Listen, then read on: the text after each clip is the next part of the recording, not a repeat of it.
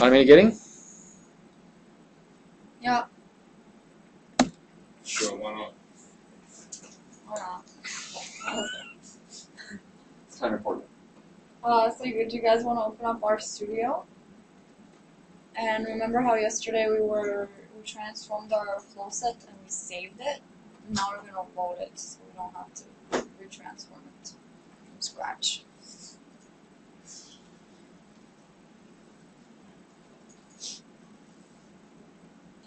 Is there transformed FS fs.trans or trans.fs.rdata. You can find it in the directory and specify the full directory and you need to start with a clean console. Uh, sure, yes. That would be great. Oh, shoot. What did I do? Um, yeah, I guess this is module 5, so you can open up the R script for module 5. It should already be in there. How to do that.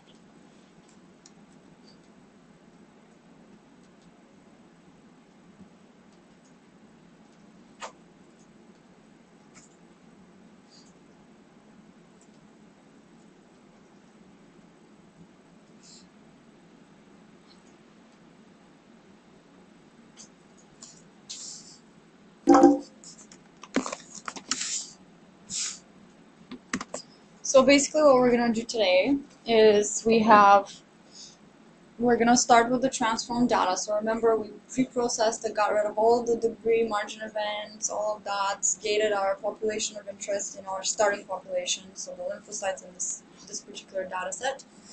Um, we did the best we could to exclude all the cells that we don't care about. And then we transformed the channels that needed transformation. So today what we're going to do is actually analyze the data set and try to get something out of it. Um, and we're going to do the, I suppose, discovery uh, route of analysis where we're going to use flow type and RchyOptimyx to try to come up with what is the phenotype which differentiates the two groups of patients. So in these 20 samples, I have chosen 10 of them which are HIV positive and 10 of, oh sorry, no, sorry, they're all HIV positive uh, 10 of them which have a very long survival time, and 10 of them which have a very short survival time. Um, and we're going to try to find what the phenotypes which best differentiate between these two groups. As a first step, we're going to gate the uh, live CD3 positive cells using 1D gating, so the flow density that Ryan was just talking about, we're going to do one dimension at a time. We're going to use that. Um, and actually no this step we're going to do just like we did yesterday for the debris we're going to do a pooled flow frame and then we're going to try to look at what does the cd3 versus the viability channel look like try to see you know what the gauge should be and then grab just the cd3 positive live cells. After that we're going to in order for us to, to use RchyOptimyx and flow type we have to first define, give, give, tell it what are the positives and negatives for all of the channels. So we're going to define thresholds for as gates for each and every one of the channels. Um, and we're going to do this again with a pooled frame. We're going to plot it, see what it looks like, and say, okay, it looks like the CD4 gate should be this. But then we're going to actually use flow density to do that exact same step again, but instead of us just looking at the plot and eyeballing, you know, the gate should be five or six or whatever, we're gonna actually use flow density and have flow density define the gate for us and just convince ourselves that it's doing something that we are actually also doing by looking at the data. We're going to visually assess the suitability of the gate, so we're gonna just double check that it, it does actually work. And then after that, the second part, after lunchtime, we're going to talk about we're gonna do flow type and RchyOptimyx. And that's gonna be really hard. So I'm not gonna lie. It's it's uh, gonna be a little computer sciencey. But like Ryan said, this is the first version of those last two packages, flow type and ar- archaeoptomics. Those are the ones that make those colorful plots. That then the really red one, that's your best phenotype, and they look really good for publishing papers. But um, So we're the first of the J of the great unwashed. this is the very first version of them, yeah. Wow. but currently they're just finishing up the, the newer version of these packages, and once they come out, they're actually going to be much easier to use. So you guys are going to be super smart and super qualified to use the, the newer versions that are easier. That's right. Thank you very much. And actually, me teaching you the harder version is going to give you a lot more intuition behind how those those algorithms actually work, uh, which is going to help you in interpreting the results. So, there, that's my excuse. uh, so, yeah, the first thing we're going to do is. So today I'm not going to use RStudio at all. Actually, I'm only going to have the code on the slides, and you guys are going to be running everything because you can debug your own issues now, you know. you, you you know what you should be you should you should be seeing, so you don't need to be seeing it on my screen as well. I will have some pictures. So the first thing we're gonna do is uh, this very first command here. It rem- it clears the current workspace. It, today you just started up your computer, so you didn't have anything in there. But once in a while, you can do that just to clear all the variables so you didn't accidentally use a. Yeah, there you go. Uh, graphics off. This again closes up all of your plots that you currently have loaded, and it just gives you a little bit of a speed boost. And now we're gonna call, bring in all the libraries that we're gonna be working with today. Uh, flow core, flow density, and GeoMap, which is actually uh, something kind of used by flow density for the plotting purposes. When the package is published, it will actually include the GeoMap package within it, so you won't have to do this once it's in Bioconductor. Then we're gonna set our working directory to, again, this is to tell our where our data is going to be stored. And then we're gonna load trans.fs.r data.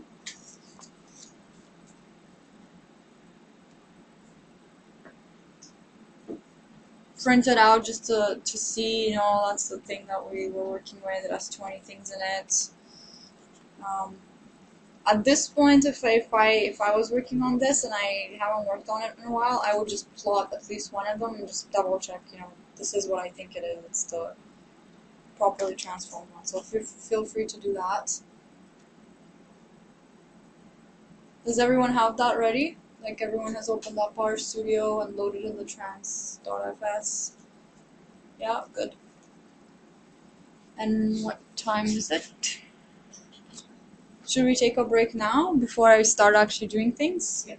Okay.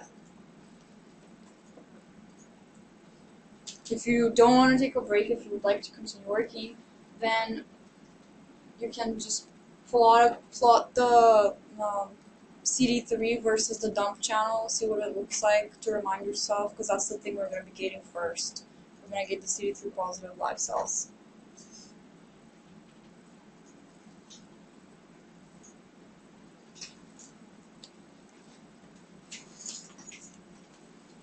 So we, we have a thirty minute break scheduled. So stretch your legs, drink the water. Should I press F10? I think that's how you stop it. Oh, yeah, sorry. Yeah.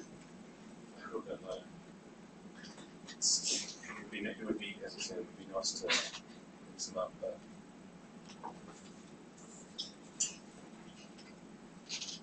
Okay, so we have our transformed flow set already loaded up and ready to go.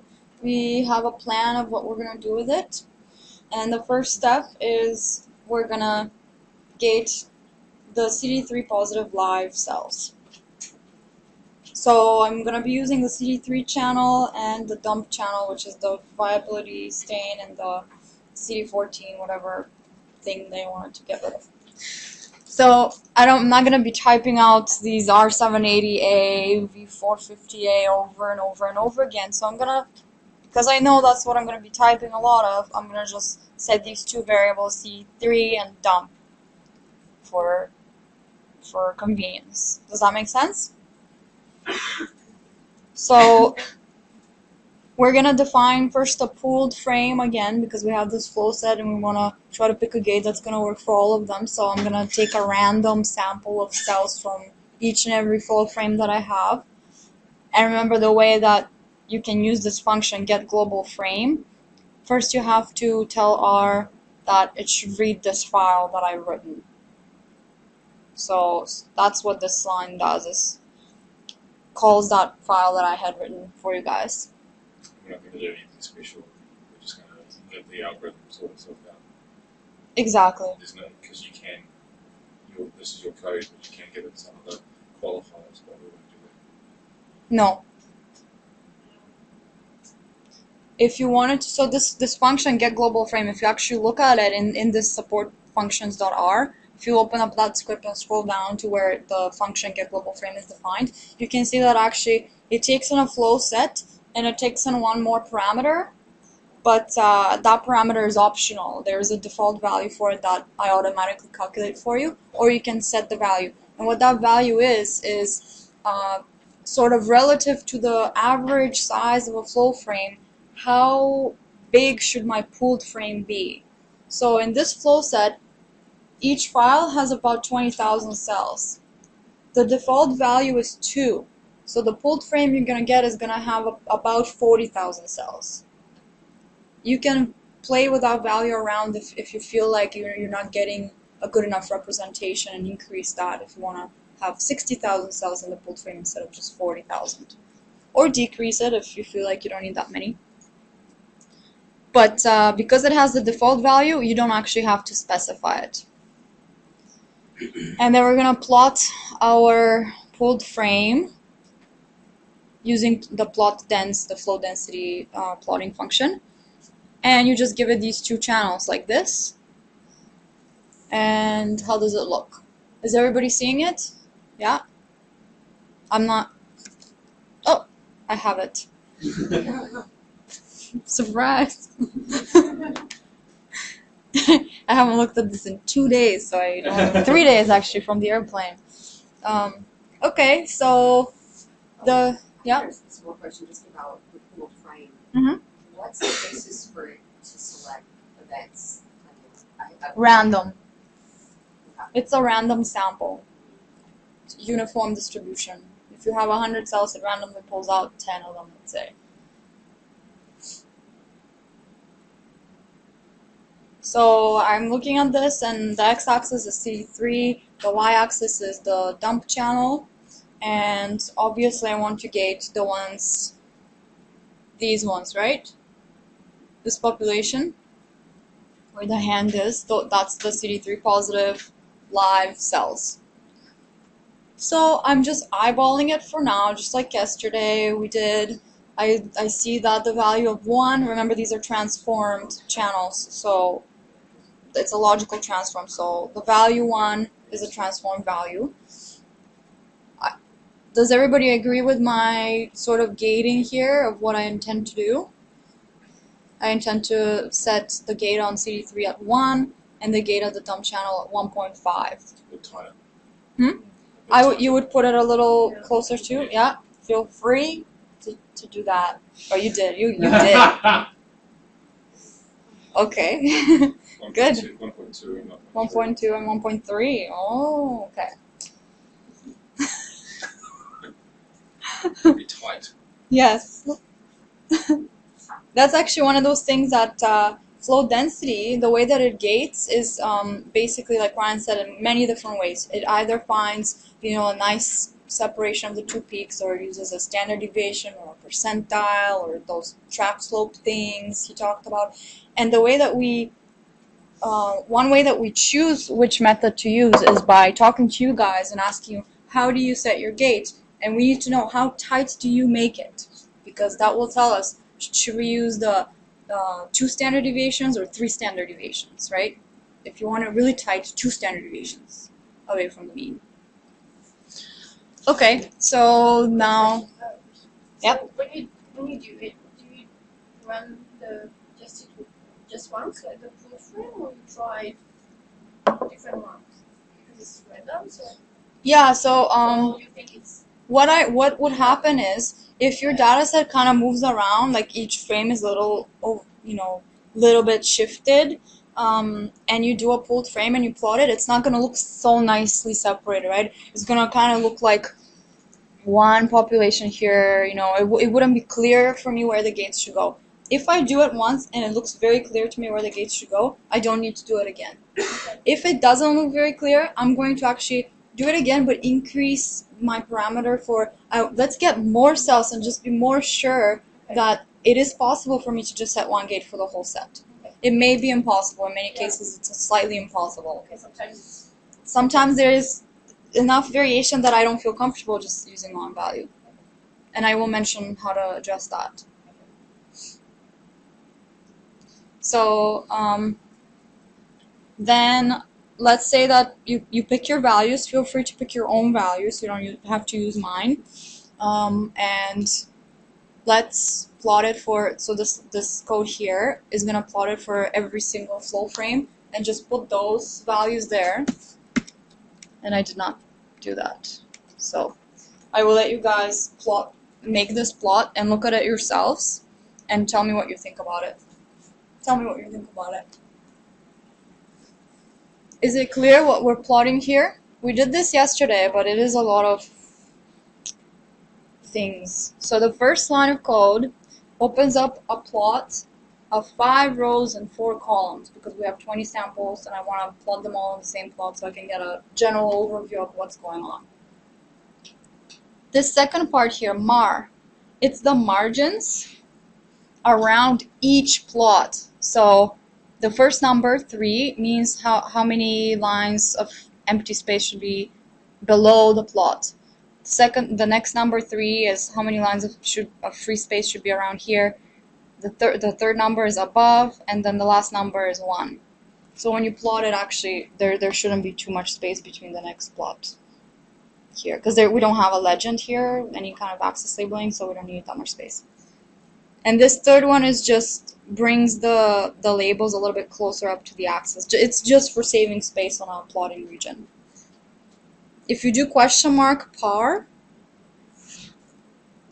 whenever you get to the point where you've done something and it looks really good and you really want to save that plot, but you really want to make it pretty, and you want to adjust your you know sizes of your labels and things like this, do question mark par and go through that and it has some really really cool options for for making your improving how your plot looks.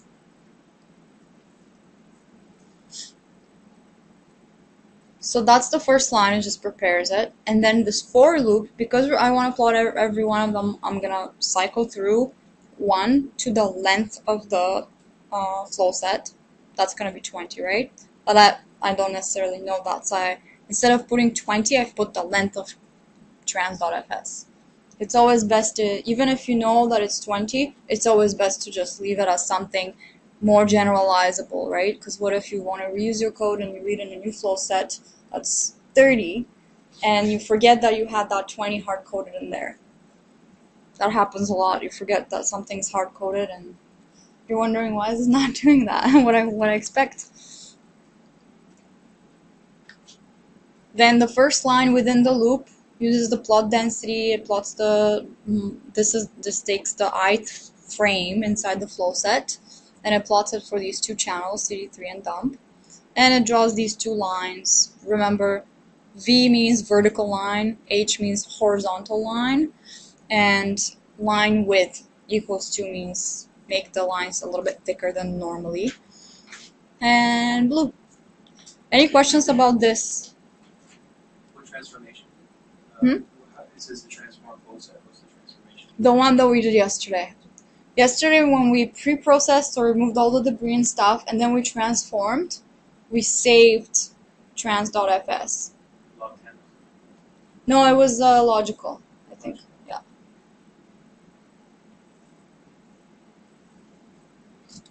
So everyone's okay with this? Everyone got the plot?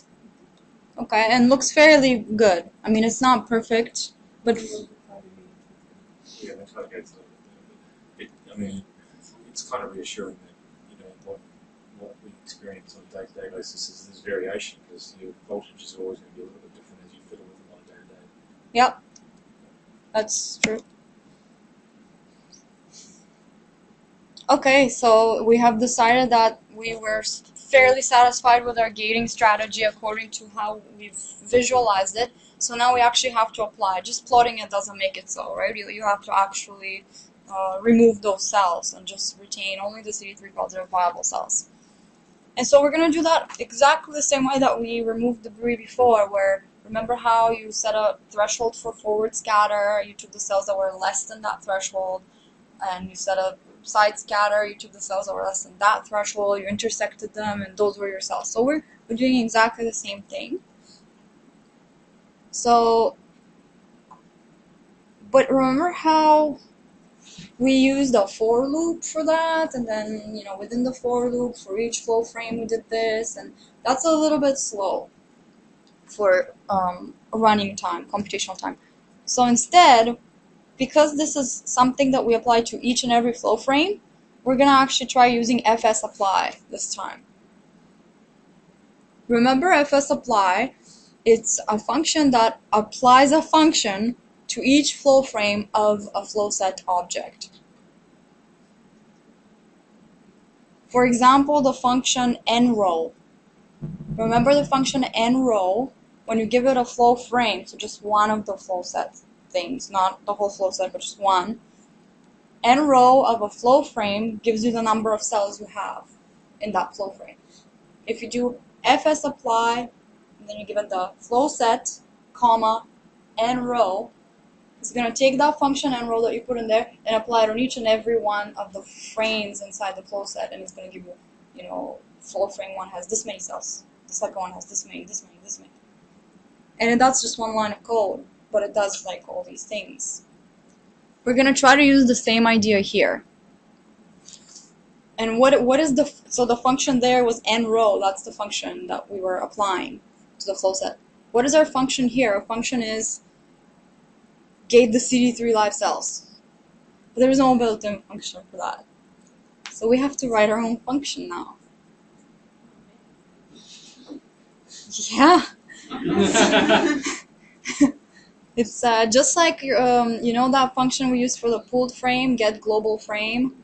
That's a function I wrote somewhere else, so that then you guys can just reuse it every time you want to get a pooled frame. You just call that function. You don't have to type it out the whole thing that I have typed out for you before. So you're gonna experience a lot of things where you're analyzing your flow data, and a lot of your steps are very similar. You don't want to be typing it out every single time, or you know have this long code and try to change indices or names or whatever every time. So you should learn how to create your own functionality that you, for your experiments, find useful. In this case, I will find it useful to gate the live CD3 positive cells. In your case, you might find some other common thing that you do that you find very useful. Maybe you can write your own function for a custom debris removal of your type of data. So, how do you go about writing a function? We want a function which does something to a single flow frame, right? Because then we're going to apply that to the whole flow set. So let's just start with a single flow, flow frame and design our steps that we want to apply to this one flow frame and just write the code for one flow frame. Then we're going to make that into a function that R recognizes as a thing that it should run that same code. So let's just for now focus on one flow frame. This is how we're going to remove the dead cells and the CD3 negative cells, or rather retain only the CD3 positive live cells. Let's just start, for example, take the very first flow frame, call it F. We're going to first do what? Find this, for example, the CD3 positive indices. Which of these cells are CD3 positive? Well, those are just which, the expression values of F in the CD3 channel are greater than 1 or whatever your gate was, 1.2, whatever your type gate was. Does that make sense? Does that one line of code make sense? So far. Okay. So that so that gives you all the indices of the cells that are, you know, beyond the CD3 threshold. Then we're going to find the other cells of the the other indices of interest, which are the dump channel negative cells.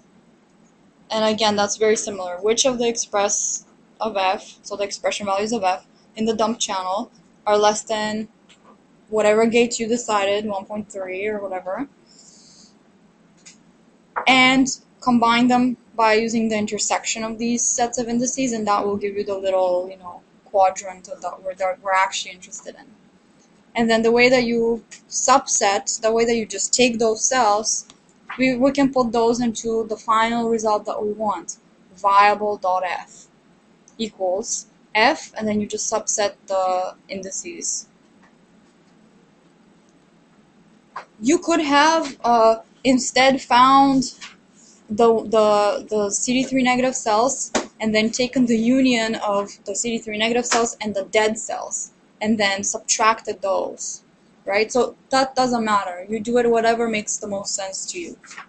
I have chosen to done it, you know, in this way, but you could have done it the other way and subtracted the unwanted cells instead of retaining only the, those cells we're interested in. So does this make sense? So if you want to write a function that's going to repeat a process for each flow frame, the first thing you do is figure out, well, how do I do this thing that I want to do for the one flow frame?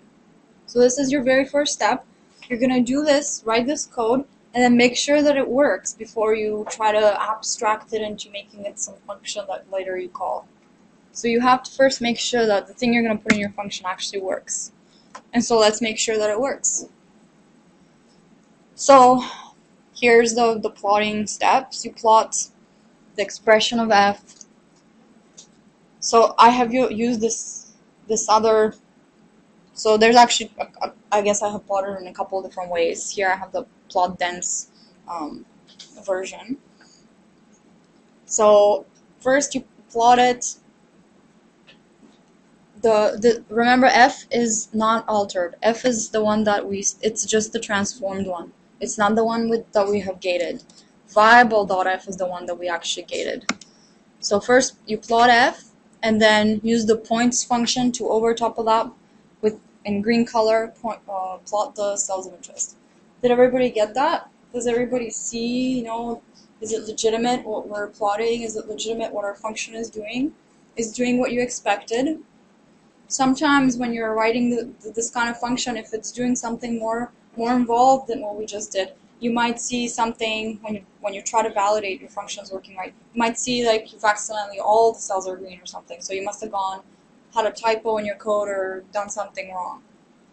So always, always make sure that you, your function is doing what you expect it to do before you use it on your whole entire flow So I didn't include it here, but there is a way. Did I include it in the virtual box? The plot this? Yeah? No? Did I include in the code? Sorry? Yeah. Yeah, I did. Okay.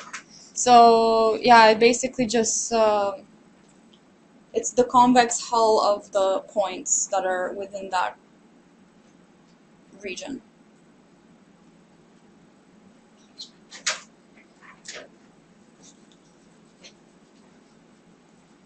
When you go to question mark chull, it, it's uh, you can see sort of what that function does. It's explained, and then if you scroll down to the end, it gives you an example. What I find the most useful when I'm trying to, um, if I'm reading someone else's code and I don't know what this function is, you know, how do they do that? What does that mean? How do they even get that? You know, how am I supposed to know that? I have no idea where they, you know, where they got that. I I read sort of the header of the help function to get a gist of what the function is doing or what it's about, and then I quickly scroll down to the bottom and find the example section. Look at the example and, and the example section usually they have some code that you can actually execute yourself and see what the code does. Step by step you will see okay so in the example they first load this data and then they plot the points. That i get that and then they run this function and then what does that do? Oh there's what it does. You just run the code and you see that oh that's the code that places the gate around. So um, yeah, if, uh, if you're not comfortable with just copying my code, which you shouldn't be, look through the example of that help file. It's it's one of the best ways to learn just by, by example. And I mean obviously read the description and it will help you sort of understand but it won't really click until you run the example. So every, is everyone okay with that?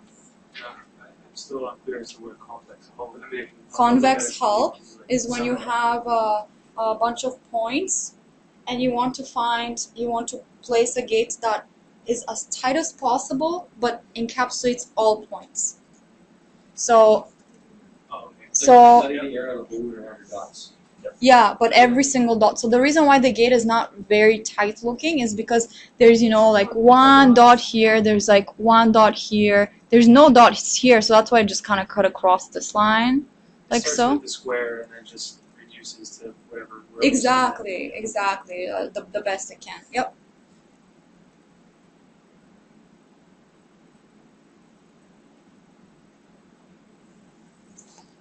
So it, this is how I would plot, try to like replicate a gate plot, gated plot. It's not gonna look super satisfying to biologists because they're gonna think, you know, why did you go up that far and like this? And it's just because there's a few dots there that probably don't make a huge difference if you include or exclude them. And like like uh, Craig was saying, you know, it's if your if your gate is tighter, it probably will look more uh, comparable to a, a manual gate. So you define gate gate gate dot points with this new function chull, but then you redefine it. So what what the function does is actually it will give me the indices of where these lines should go, sort of. Like all these points that surround my points. Except for it doesn't connect the last one. So what I have done is I have actually given all these points that are the coordinates of where how it should draw the R should draw the line. I have also appended to the very end of it the first point where it started, so that it will close the gate. And the first point where I started is gate gates dot PTS square brackets one square brackets. Exactly. You can print out some of these things and see what they actually are and see what is the first thing and does it make sense.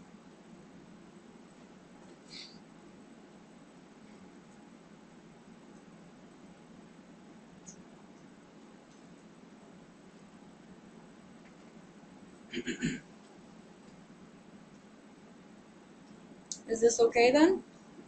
And my gates look fractionally tighter because Your When I yours look define- better. Than no, mine? no, I'm not saying. It's I'm not okay, you saying can say they're better. I'm not saying better, but because I defined Yep. the viable gate.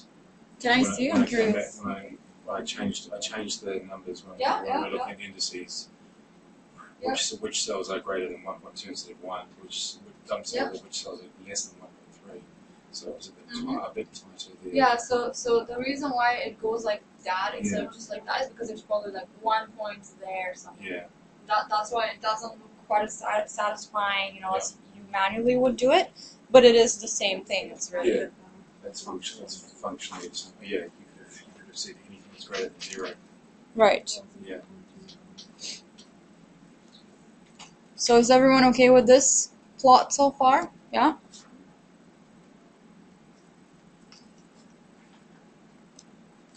So remember, if you're if you're reading this later and you forgot what was going on, just do the question marks, uh, see all and see.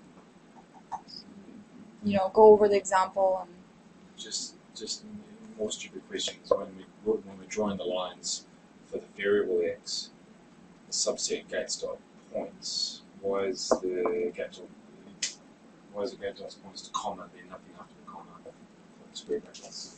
Why is there why is there nothing there? oh, that's the. Um, It's, uh, that's- It's a matrix, so I'm only taking those indices and all columns. And the only two columns I have in there are the CD3 and the dump channel. Right. So I'm only taking the, the rows. sorry, so I told you this is- There's no no stupid question. No, no, there, there, are, there are some. There are some, yeah. okay. There, there are many. So what have we done? We have written some code that does the thing we want to do on a single flow frame. We have verified that indeed the way that we composed our algorithm is valid. It does what we expect it to do. We're happy with it. Now we want to go and put it into a function. that we will never have to write this code ever again. We'll just call it, right, as a function. And so this is how you write a function. Um, first, you name it something. Let's name it get viable frame. Yeah. How does how does R know it's a function? By putting this arrow here and then saying And function. function. And by convention, you do this little thing where you put the capital letters in, in the middle of the name. Yes, that's just for That's, readability. that's convention. Yeah. Yeah. Okay. Some people use the convention where they put underscores between or dots or whatever, but this is the best way because it avoids any of those special characters. Yeah, and, and by convention, the first letter is small because it's not that important. Like, there's more important things in R that should be capitalized. Your little function.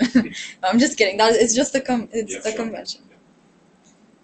But the word function, I think you missed that part, that dictates that this Yeah, is. yeah, no, I see that now. Yeah. Yeah. It's just like uh, you know when you're yeah when you're defining you know a, a vector or a matrix or a list you would say list something your data but this is a function so it's more special than than those things and the way that you activate this function the way that R is not gonna like start now making this use, usable is you just execute this whole chunk of code R is not gonna do anything. It's just gonna read it and be like, okay, from now on, when you say get viable frame, I'm gonna know where the, what to do. I'm gonna do these things that you're saying. So, um, so It's like running a exactly, exactly. That's exactly what it is. So the the so you get give it a name and then you say this is a function of, and then this is your input variable. This is the thing you expect people to give to you. In our case, it's gonna be a flow frame, and you can call it whatever you want. Doesn't matter at all. You can call it X, you can call it A, you can call it flow frame. Don't call it flow frame. That's a reserved word, right?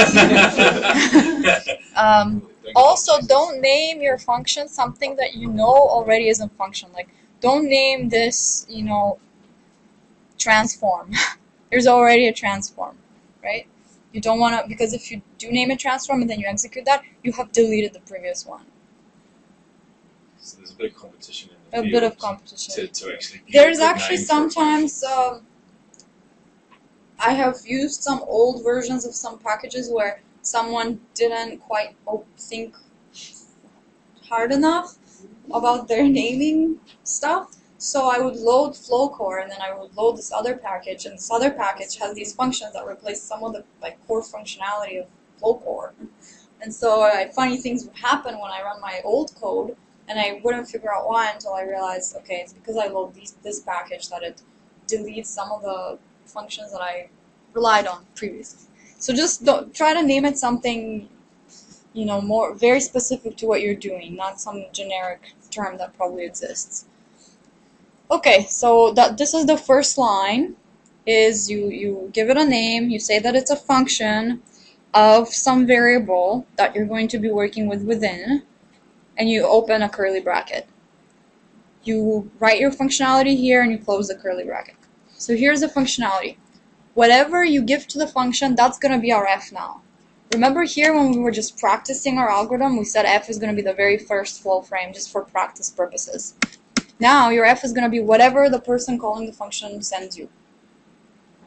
So f is going to something given to the function, so we, we don't have an f definition inside. So once we have our f, we do the same things as before. We define our CD3 positive indices greater than 1, mm, the, the dump channel indices less than 1.5, combined, subset.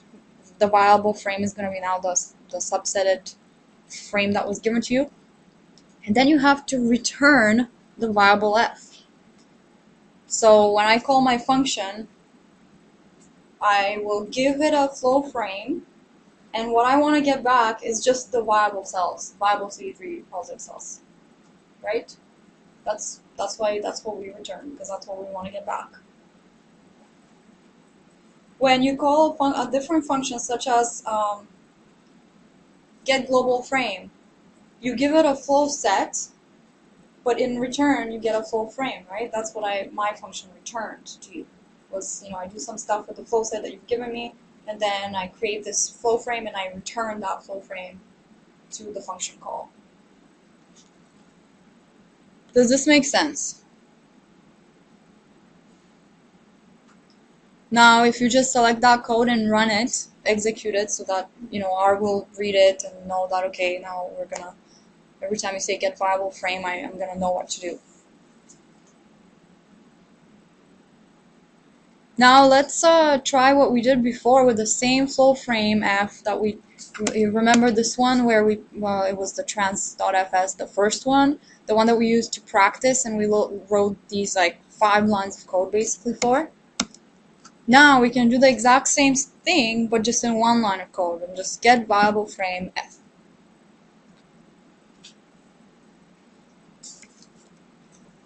And then you can, why don't you just play around with that for a minute and uh, I, I, I'm not sure that I put code in there to plot it again. Yeah, okay. Plot it again, make sure that it's the same thing that we had before, just now in one line of code instead.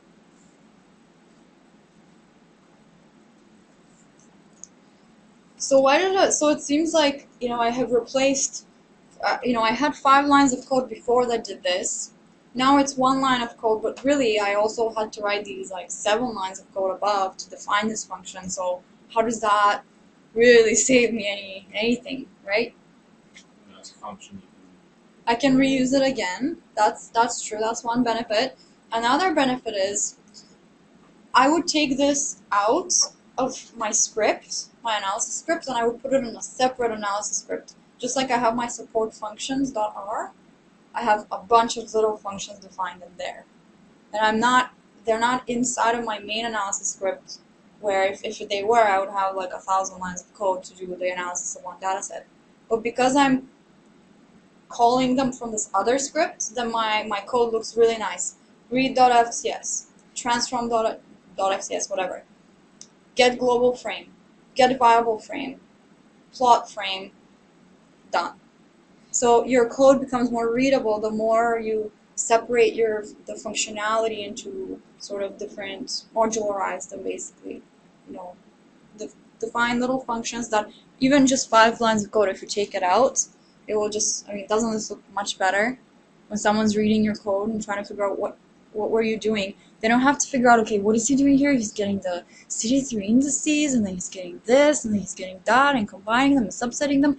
Oh no, he's just getting the viable cells. So also another point, make sure your function names are informative of what it is you're doing. Don't call it function one or F1 or anything like that because that's no good. It also helps a lot with maintainability, so if you're doing the same thing over and over and over again, you're using lots of different scripts. And then when you're down the road, you find you made a mistake, and you're, not that this will never happen, but you may have a bug in your code. And, and then you don't want to have to go back and fix that in every bit of code that you wrote on all your different assays for the last X months. You just have to fix it in that one spot. Yeah, and re-execute your code. Because you will find bugs.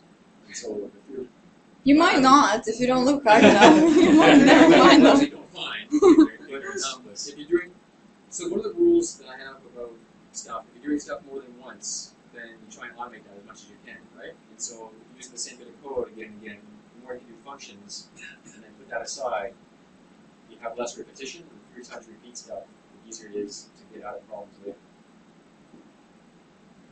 Does that make sense? So is everyone okay with writing their own functions now? You guys are, I see the now, is that awesome? Yeah, yeah, yeah. It seems like they're all pros. You know, as long as I can just copy your code, it's fine. I have Yeah. a real question about, um, when we use points to plot up our CD3 positive functional negative events. I'm not, I'm, I'm not seeing much, I'm not seeing my points plotted over my, I'm not seeing a bunch of little dots representing, I'm wondering what I'm doing wrong Let's see. so.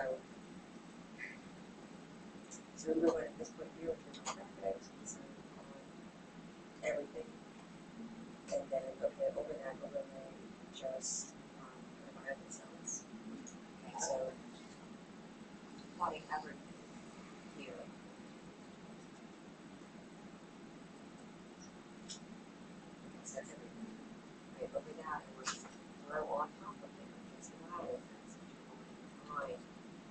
there's a combination of languages. And let's try to.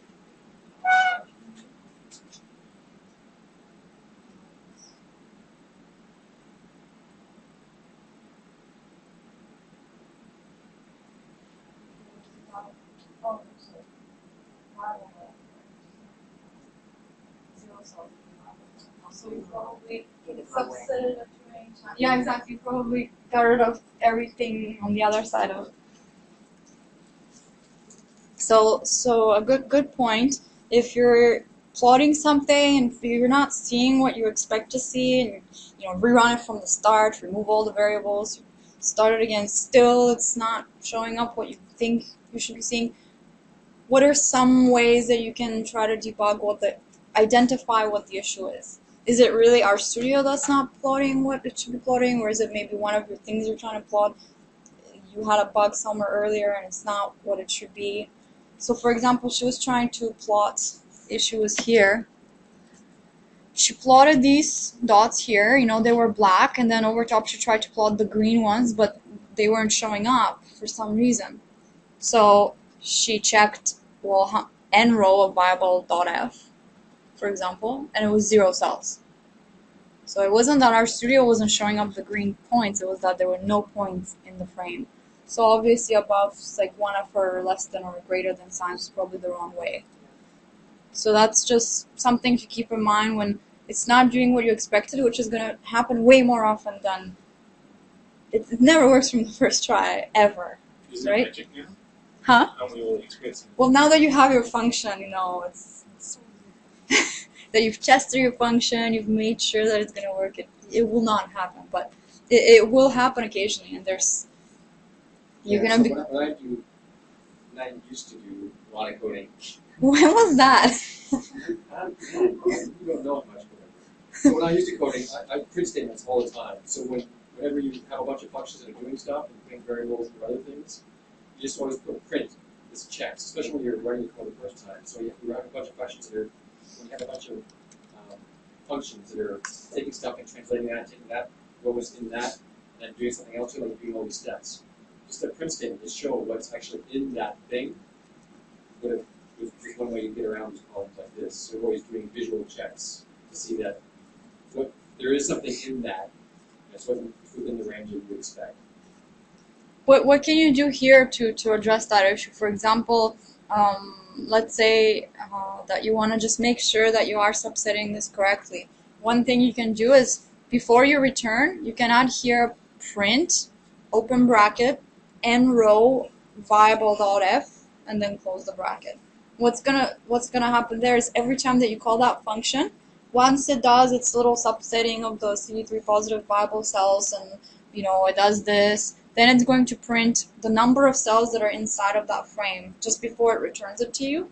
And so if you see a zero there, that should be telling you, oh, why is it not finding any CD3 positive viable cells? Something's, I might be doing, there might be a bug in my function, or maybe the frame that I passed to it already didn't have any cells in it.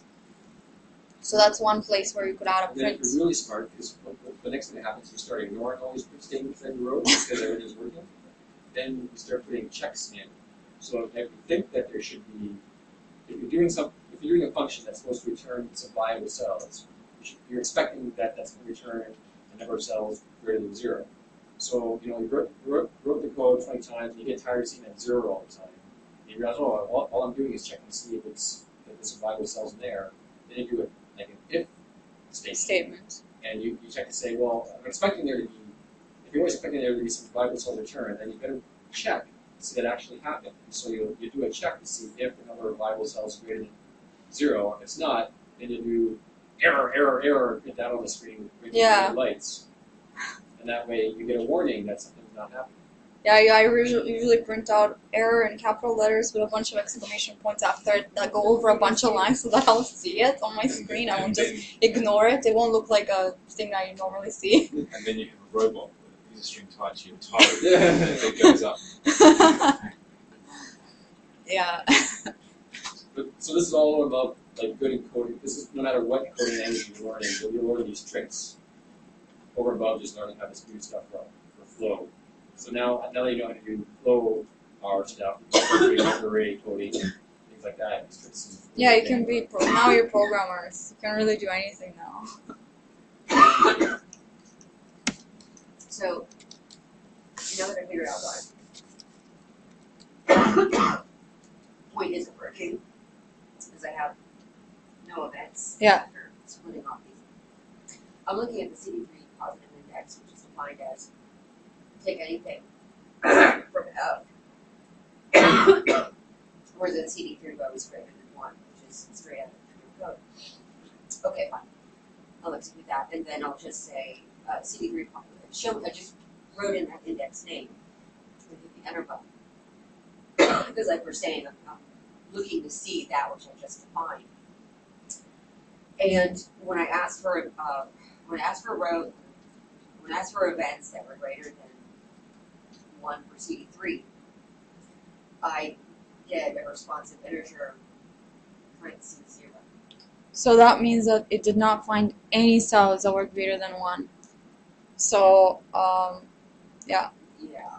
so your original flow frame does it have any cells in it? My original. So your F, not your viable F, but your F. Yeah. No, I've got like seventeen, a little bit more than Can you plot it and make plot the CD3 versus dump channel and make sure that you have cells over over one? Maybe your transformation from yesterday was fudged.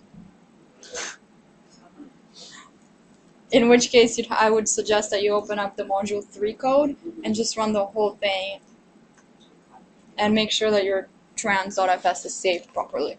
Because I can see with, I, I can see all of my events that I just, um.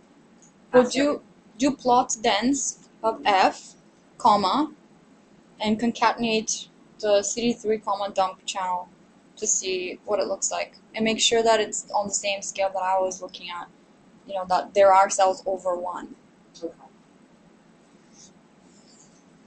So everyone's comfortable with the function, and everyone's comfortable with how we use the function. You just call it, you know, just like we did get global frame. You know, you give it the thing that it takes as input, and So, what we might do is, with the function, is we might copy that, so open a new script, paste that into that new script, save that new script as get viable frame.r mm-hmm. as a new script, you can, yeah, and then when we wanted to use it in our meta script, yeah, we, we would we would source yes. from this directory get viable frame.r. Exactly.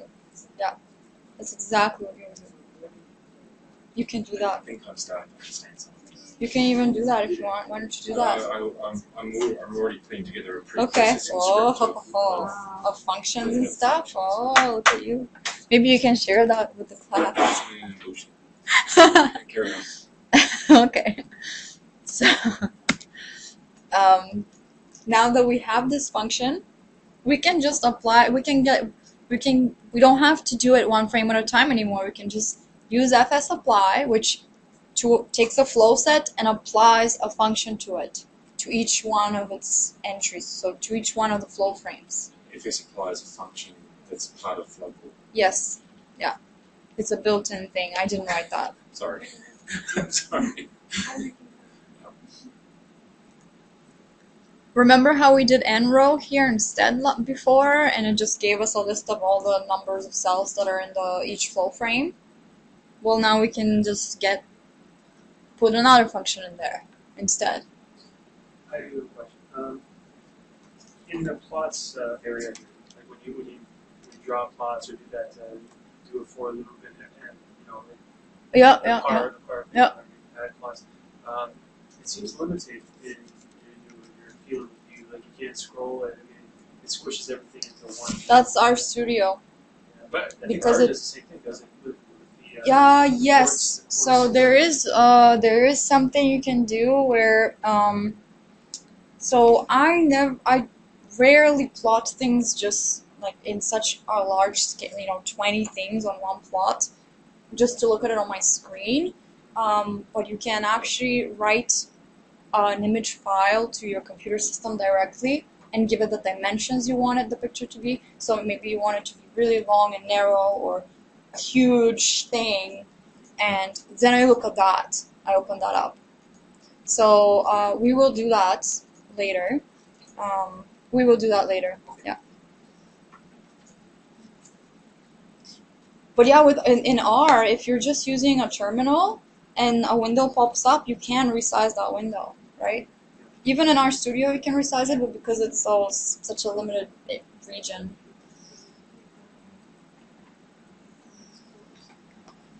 So this is how we fs apply, right? Apply the function. Is everyone okay with that?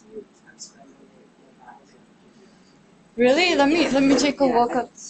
You asked me to re-execute everything in non-full Could you copy over the file?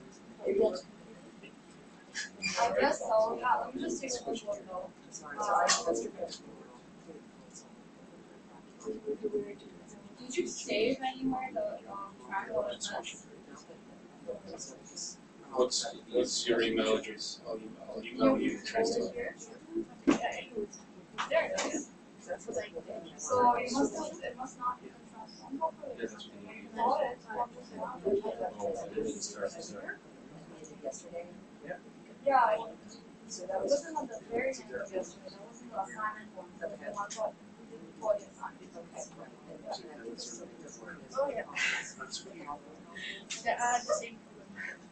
No, that was just my file that we. I can preview.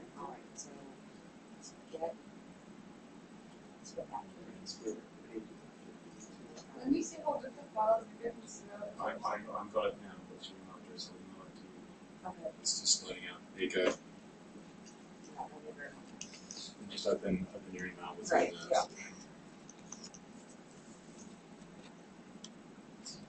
Yeah. Once you get it, just run everything up until the point we're at.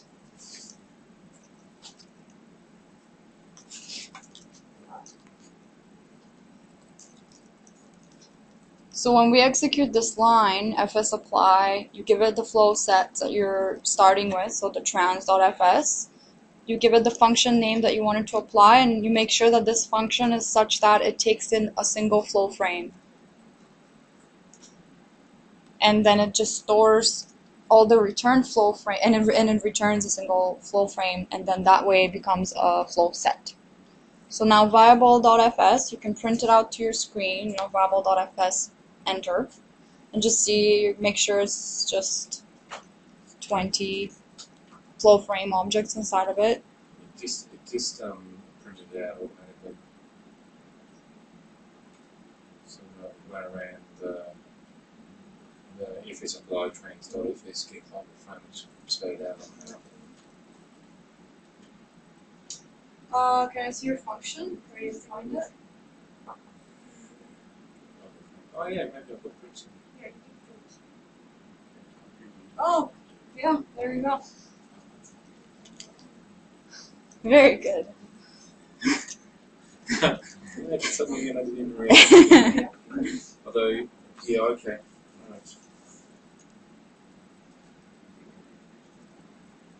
So um, now that now that we have this, now that we have this flow set, um, we can sort of examine it a little bit. So we can, um, if you do fs apply viable.fs and row, that gives you the number of cells in each of the flow frames of the viable flow set, right? I'm dividing that by fs apply trans.fs and row.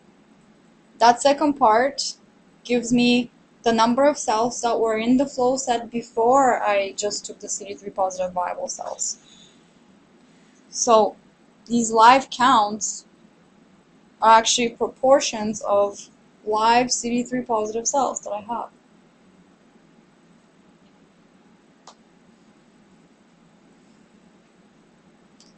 If you're not sure how quite this quite works, copy just this fs apply viable.fs comma and row, just that part, and print it out on your screen. See, like just run it in your console and see what that gives you. And then you can copy the second piece and print that out on your screen and see what that gives you and then convince yourself that it is what, what it, it is the live proportions.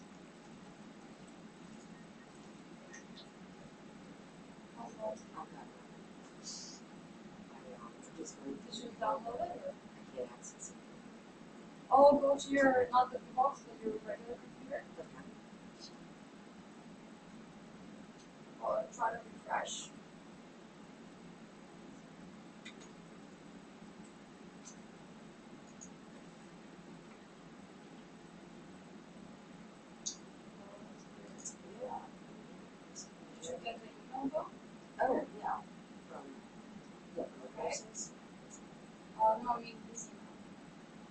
Uh, go to your normal computer, not the virtual box.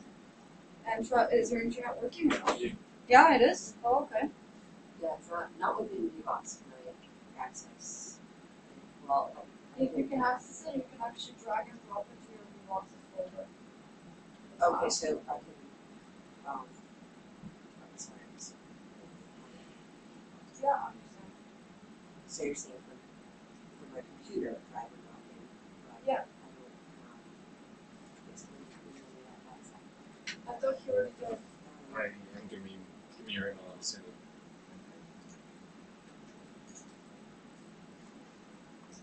What's your email address? Uh, Selena dot Mertens. Yep.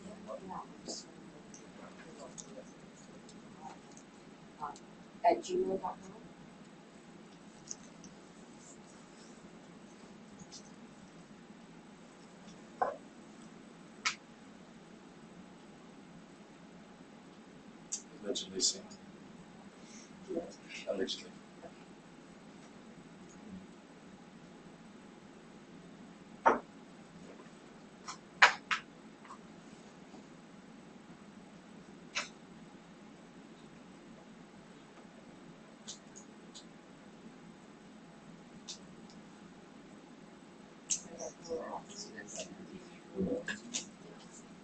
So does everybody have the live counts and plotted?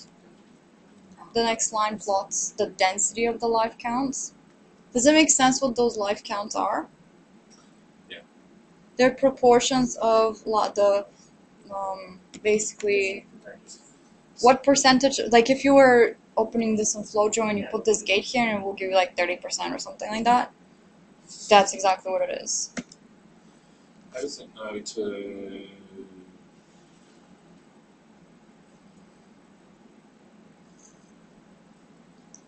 When you have two vectors of the same size, It knows Um, to divide. it knows to divide element-wise. Yeah, okay. yeah, that's how R works. That's not necessarily how other No, packages work or other uh, programs work, but that's what R does by default. but we get different graphs, which is interesting. That you did what? I did this program too, so that's why it doesn't look like it. Two, so it's, it's different. Yeah, play around with it. Plot plot the histogram as well as the density. See which one you you find more informative. Uh, remember in the histogram you can also put comma and then some number, and that will tell it how many little bars to plot. Because, otherwise I'm not sure how it decides on it. How to what? Decides around, I don't know how it decides how many. Oh, I it just- is. That's like some really bold So numbers. just, Yeah. because I was looking at the doctor, it seems to be, you can define the, the bins of sample vector. So Yeah, it's think if you better to yeah specify.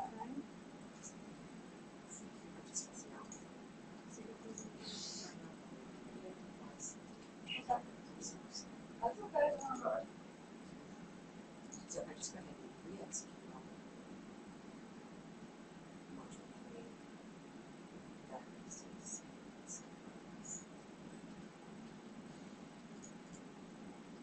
You know what?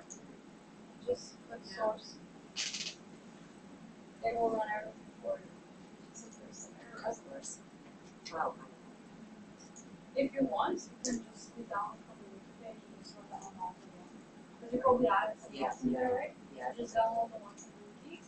And when you click source, so when you guys uh, in RStudio, you know how you can run execute line by line by pressing Control Enter, or by selecting the line and pressing Run, or selecting a section and pressing Run. If you click Source at the top there, it will just run everything in that script that you have open. So if you wanted to rerun your code from scratch because you think you maybe reran one line a couple times extra, then you can just source.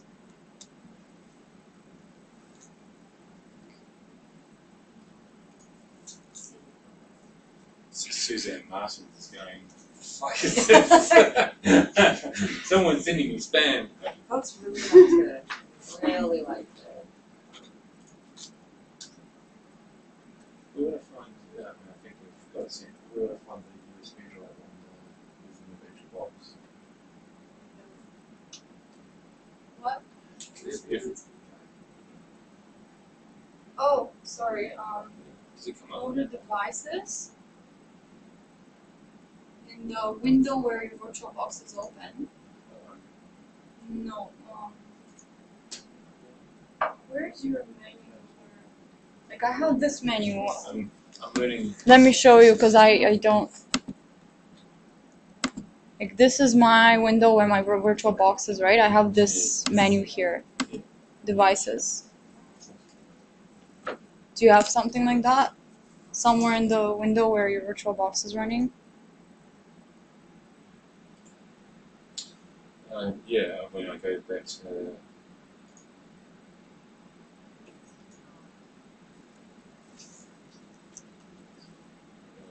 So I've got the buses there.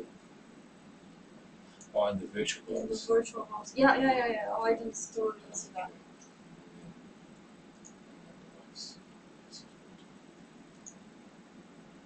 Oh, you probably want to inject it from your regular computer. Yeah.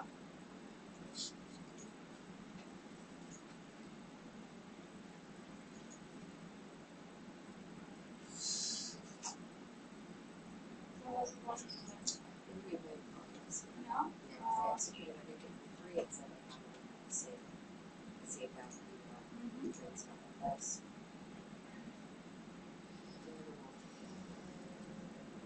How is your video stream? Steven, you're okay?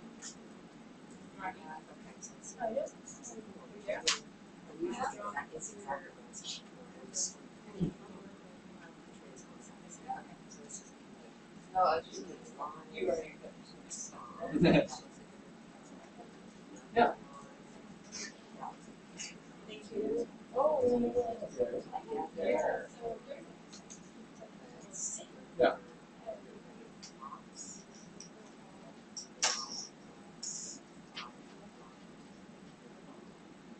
Oh, it's running a hard, uh, uh, just for buttons. Okay, um, could do. Um, these- yes. Um, could I do one? Uh, yeah, that's, that, that's a different question. Um, uh, Oh, yeah, okay. Yeah, You can just no- control nobody's, it for nobody's four asked months. for it. Um, no, we, we, we're using Like it. when you, I don't know. your cursor is fine. Um, Or on the left one, yeah. Press control enter. That exits it. Like, you can press control enter and that's the first one. So that's why how you can execute them one by one, kind of like a pause as you need to, to see like, did it run, did it do like It's structure? big, but for us, it's not gonna I mean, it's too big. But we've already published, so it's not value added. I think it's great. Um, I just don't want- The bang for the buck, I'm sure it's there. It's- that's great. I'm not sure. Depends how much effort it is, that's the question. I don't know. I mean, the guy is- Print now level, you have to make sure it's not plugged into itself. Yeah. Um, so, Awesome. that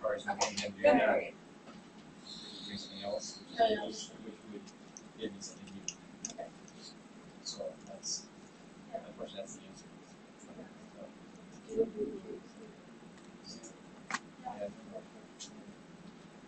So what happens when you plot the density of these live counts? It just so shows you throughout your flow set how, you know, what kind of per- live percentages you're working with, or what kind of CD3 live percent positive percentages you're working with. And it looks like there's two peaks, right? Does it? look like you have two peaks. There's like of a little dip in between them. So whenever you see two peaks, that kind of looks like you have two groups, right? Maybe you can separate them somehow.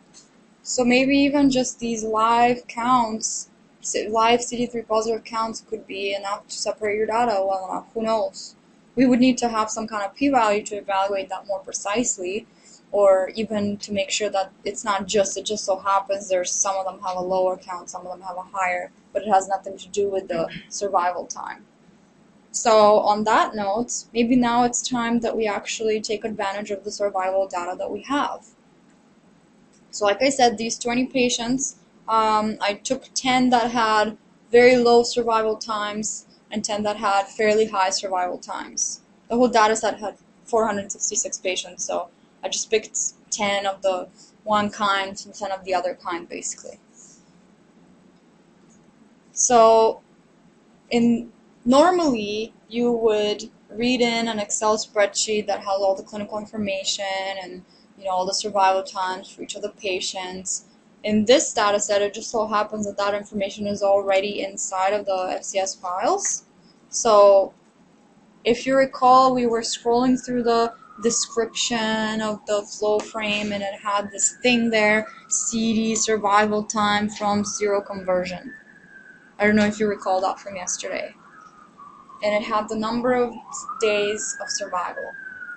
Survival before either the patient progressed to AIDS or died. So, how do we get all that information from the whole flow set? We want to know the survival time for each patient. Well, because very complex line of code. it's inception. It's Inception. This is For Inception. sure. Yes. Remember how with FS apply, we put in a flow set, okay?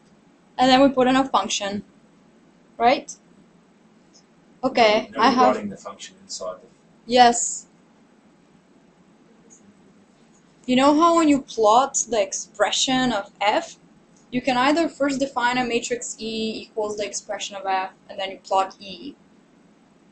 Or you can plot the expression of f. So you can kind of save yourself some some code if you just write it within one line. You don't have to, but you can. And in this case, if you were to write a special function and save it in a different file and source it so that you can call it, it would just be a one-line function. It's not a five-line function like we did earlier. It's a one-line function. So for that reason, you can actually just put it directly in there. So what we're doing, generating is a new matrix that has the data from a viable.fs matrix flow set. And we're adding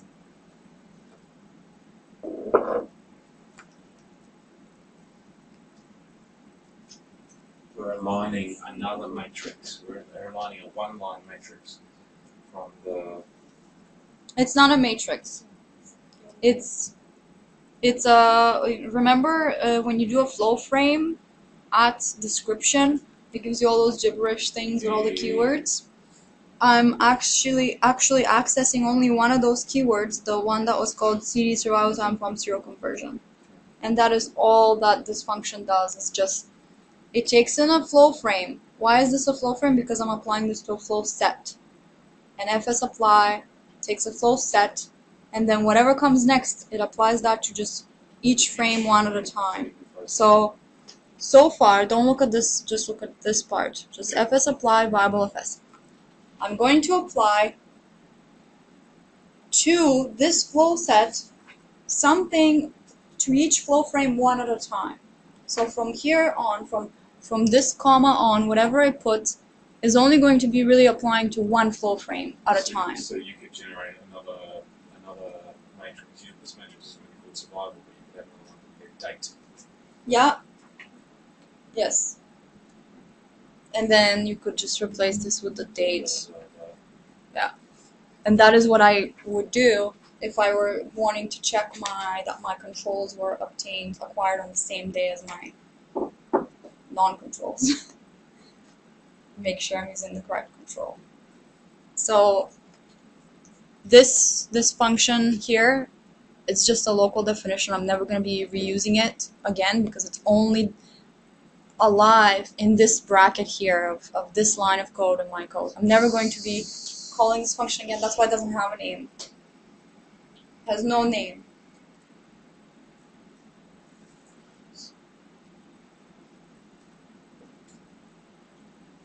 Could you just take the two x's out and put the at description dollar sign inside both brackets? Unfortunately, no. But um, because the at is just a symbol, right? If if it Put a symbol in the sheets itself. Yeah.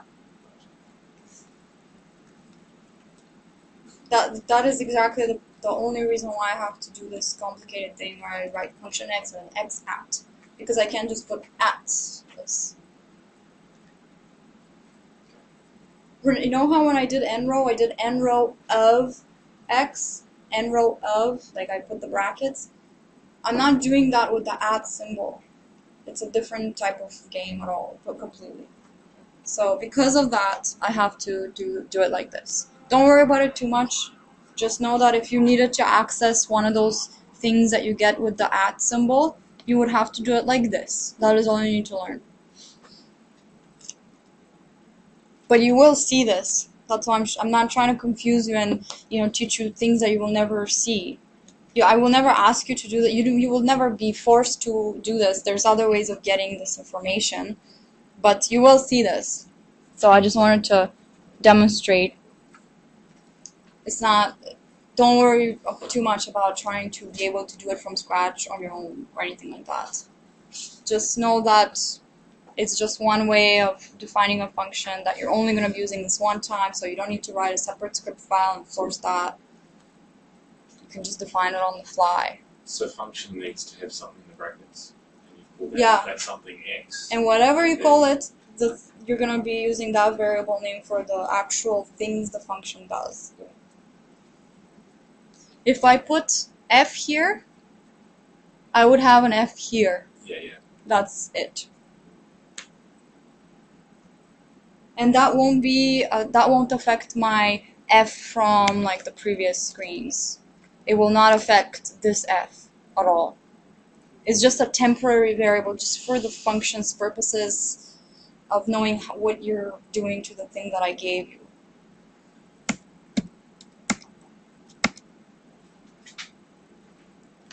So, just when you run this one line of code, you see you, you can print out survival to the screen.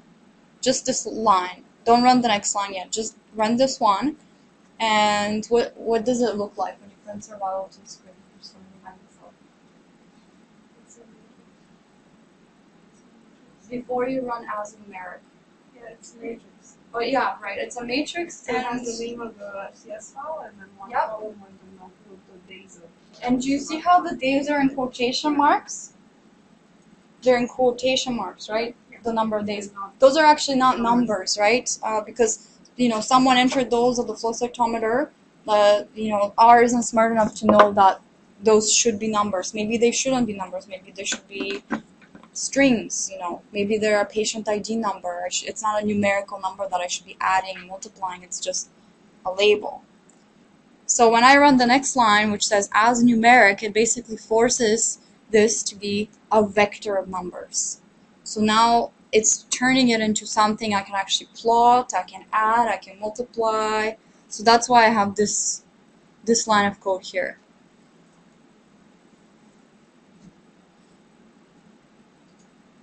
And is that, uh, for line there, is that terminology that's sometimes the same for any conversion? Character integer? Uh, So you can do you can do question mark as numeric or question mark numeric, and it will it will tell you about that, and then it will probably say um, towards the end of the help, it will say see also or also see the following search terms that will be. So there's as character, which is if you had numbers but really you didn't want them to be numbers, you wanted them to be words. You don't want someone to accidentally try and add them to something or multiply them then you can convert convert them to char- a character vector.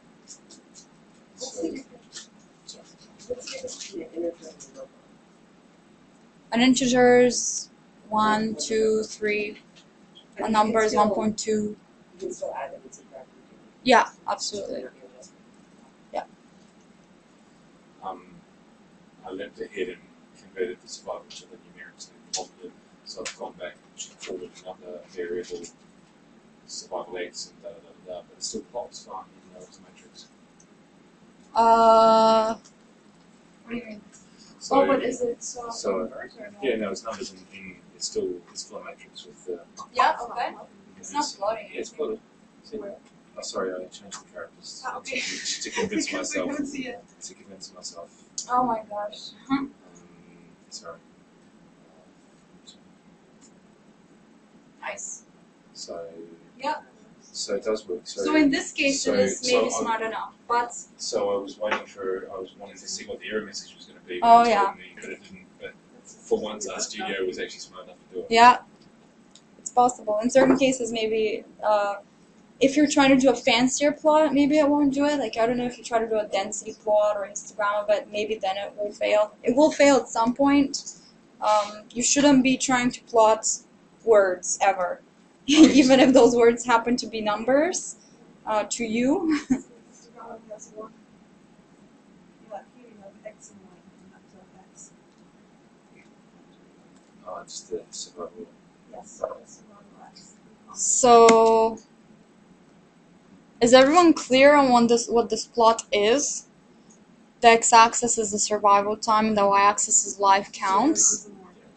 What am I plotting exactly? So, for example, this dot here, this patient survived 2,000 days, and they have about 20% of uh, CD3 positive live cell proportion. Does that make sense? That's what I'm plotting. So when I look at this, you know, to me it kind of looks like there's very, very few samples that I plotted. I can't really see too much, but you know, if we're trying to make it interesting for you guys, there seems to be a little bit more of these people that don't survive very long and also happen to have fairly low live CD3 positive proportions.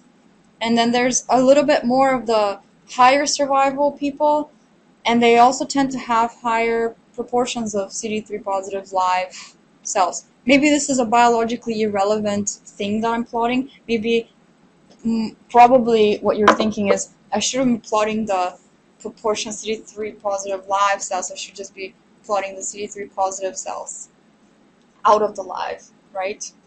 I shouldn't be taking it out, including the dead cells in this at all which I am by by defining my proportion like this. But just for illustration purposes, let's assume it's somehow useful. So this is this is sort of like an exploratory data analysis thing. You just visualize your data and try to see is there a pattern here or not. If you see some kind of a pattern, like perhaps this is a pattern, if you had way more samples, you would see it more clearly.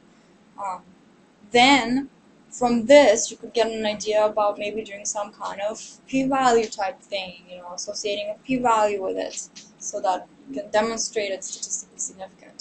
But as a first step, just plot it and see if see what it looks like. Maybe it's interesting, maybe it's not. If all the dots were just all over the place, it would definitely not be very interesting. As a first step. So I decided not to go into detail about k-means, um, just because it would be, I think, too much information. Um, statistical. does k-means? Has, has anybody heard it before other than today when Ryan said it? Yeah?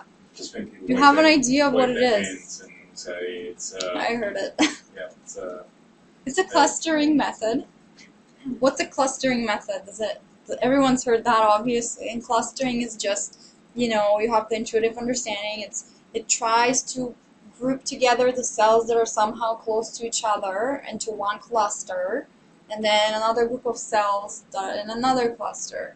It doesn't have to be cells. It could be anything. It could be patients. It tries to group patients that are similar to each other based on some criteria such as CD3 live proportions close to, if, if they're similar to each other it's going to cluster them into the same group versus other patients that seem to have different types, very, very different from that first group's live cell CD3 counts.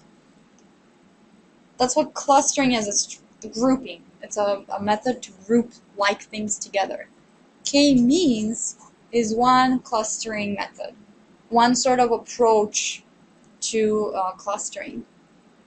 And what it does is literally take I mean there's there's different ways you can define distance here, but it kind of takes the Euclidean distance, like the distance from this point to this point. Like all of these points are really closest to each other, and these these points kind of are closer to to each other. So if you ask k-means, give me two clusters. This is what I this is what this line does. K-means here's my data. My data is just live counts. Can you break those into two clusters for me? That's what this line does.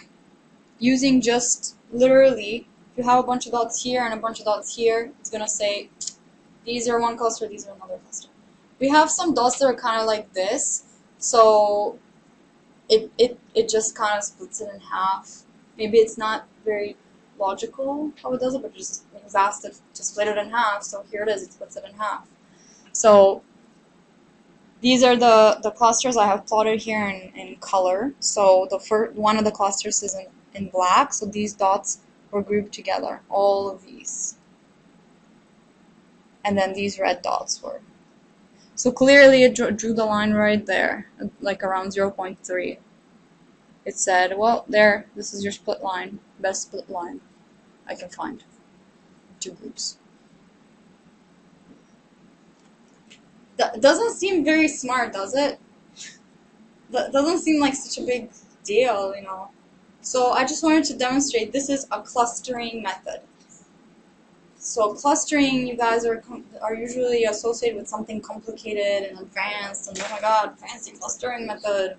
No, it doesn't. It could be. You could. They can get extremely fancy and complicated mathematically, much more robust than this, and statistically based, and not. They can get really fancy, but the basis of what a clustering method is is is you just group things. So just because something is called a clustering method does not mean that it's automatically amazing at all, actually. So the, the way that k-means works, like I said, it just kind of finds, literally looks the, at the difference between this point and this point, and this point and that point, and says, no, no, I'm going to be a part of this cluster. This point is way more similar to me than that point there. It's That's all it's doing. There's much fancier clustering methods which use a statistical distribution to try to estimate, you know, how these points are like diffusing with each other, much more elegant ways of, you know, am I closer to you or, you know, these points are actually way more spread out than these points and you're here. So imagine you have a clump of points really close to each other and then you have all these points that are right here. Then you have this one point that's here it might actually be more likely that it's part of this like really spread out population, right? Not this like really clumped one. Maybe k-means is gonna put it here because like literally the distance from here to here is shorter than the distance from here to these other spread out points. But because these are really spread out, actually, you know, it's not that far, no, not that far off density wise. That's one way that they can get really fancy and actually more intelligent and more robust and more reliable and would be much more sensible to real life. But in its basis, clustering is really not a big big deal. But it is one one like game game means is is a fair fair game to try to give give it a try. It's um, all you're telling it is how many clusters you want. You know you have two groups of patients. You're giving it the number of clusters you want. And if we happen to not have these three dots and these three dots, wouldn't it be nice? Like we would have gotten a really good separation. That's why I circled in blue the ones that, man, I wish these other three patients weren't there. you know, because then it would have been really great. We would have said, oh wow, look at that. You know, it seems like a lot of the k-means agrees with us that the low live cell counts really correlates very well with survival time, for example. It would have really supported sort of our visual intuition about what's going on. You cluster uh, survival at the same time? If you survival uh, if you sorry if you cluster survival it will find a perfect separation because i have actually happened to purposefully pick patients with really low survival and patients with really high i actually did that first when i was preparing this workshop like oh sweet these people are going to be like so amazing and i'm like wait i can't cluster both because that's by definition doing what i i'm hoping it would do on its own without me telling it so uh, you can't include your predict the variable that you're trying to predict, which is survival time. You shouldn't include that in your analysis, right? Code, how, how would you do at Um, do question mark k means, and it will have an example. So live counts right now is a vector, but you can actually make it a matrix. You can actually use the function cbind or rbind.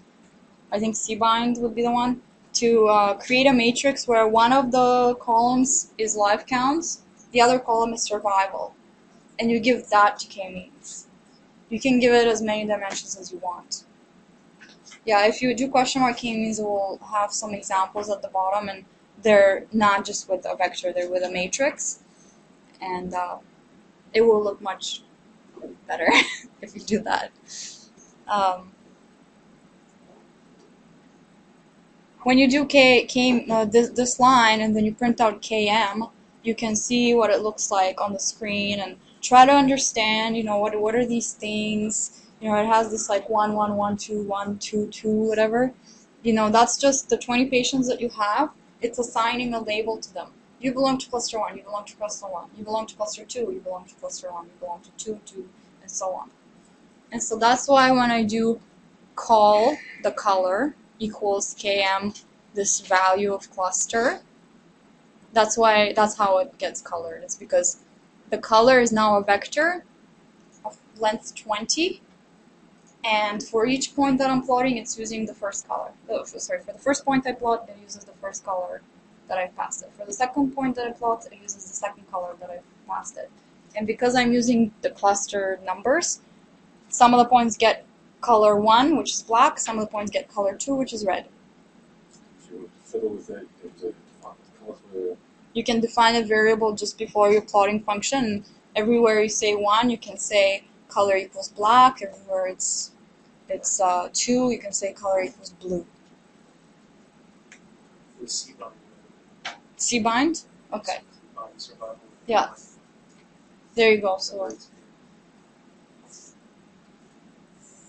is everyone okay with this? Uh, this is, I'm not teaching you K-means, I'm just giving you sort of, this is what it looks like. If you're interested, go and read about it on your own time. Um, there's actually, I, I included this link here, a really nice, very simple to follow tutorial that explains exactly how K-means goes about separating your points into these two clusters. And it is a really nice sort of illustration of computer logic, how the computer would. When you look at some points yourself with your eyes, your eyes actually are really fancy in the way that they work with your brain. They, you know, you immediately see the pattern. Humans have a really good aptitude for seeing patterns, just like looking too, at it. Too good. Computer is not very good. Humans are too good at finding patterns. Too good? There you go. A computer is, is not biased like that. It, it will not just It's assume biased, it has it's to biased in different ways. But it's an equal opportunity, right? It's a different. It's a different opportunity. okay, different opportunity. that's, that's one of the things I'm looking at my I'm looking at my sort of a colour thing that I keep doing over and over and over again in lots of information samples. All I can see now is the populations that I first defined. Yep. And I and that, uh, no matter how hard I try, I can't. You know, I find myself going, but I want to look at the populations I've always looked at before, rather Yeah. than rather than looking at some new ones. So. Which is You need to remove all variables, clear your workspace of your brain. Yeah, no, I um, but that's why uh, hopefully, hopefully that's a segue to your next, uh, your next topic. Oh, what is that? Yeah. Oh no. there- I don't remember a couple, what it was. couple more topics. Okay. Um, What time is it? Twelve twenty. So ten more minutes then, or what is twelve thirty? Was the lunchtime? I, I forget. Um, okay. Okay, so what? So far we um, extracted the viable CD3 positive cells. Those are the ones that are biologically relevant for us. And now we have a few more colors that we can work with and play around with the phenotypes and see what phenotypes are actually responsible for the survival time difference. So now we have to gate basically define the in order remember in order for us to check all these phenotypes we have to first define the gates for each marker individually right because otherwise how am i going to be able to define the phenotype cd8 positive cd4 negative cd127 positive. I have to tell RchyOptimyx what do i mean by positive and negative? What is the cutoff value that i'm using to call anything above that positive anything below that negative? So as a first step we're gonna let's consider cd4 first and we want to define a gate and let's uh, let's do it like we did it before. We create so first of all I'm gonna name CD4 to be um, this this V655-A I'm gonna just put that as a variable CD4 so I don't have to type this long thing ever again step one like we did before we did a pooled frame get global frame out of this viable flow set, the one with the CD3 positive live cells. And let's plot it. There it is. It's plotted. Is everyone happy with the plotting and the getting global frame thing? We just did that. There it is. It, I, I can see the gate looks like it should be 1.5 or something like that in the middle but I don't obviously like you guys have been asking all along. You know, you don't we don't want to be just looking at it and trying to see is it 1.5 1.4 1.42. So we want to do this in an automated fashion. And DE gate is a function of flowDensity, and it's in fact the function of flowDensity that does the gate the, the density gating. So It's density gates. That's what it stands what the DE stands for. But you don't want to type in density gate, so it's D gate. Programmers are lazy. I thought you were just channeling, channeling uh, you know, you're making to get. No. uh, so So what? Um, I'm getting a warning message. Um, max absolute of the iteration i no missing, no non-mixing items to max returning dash inf.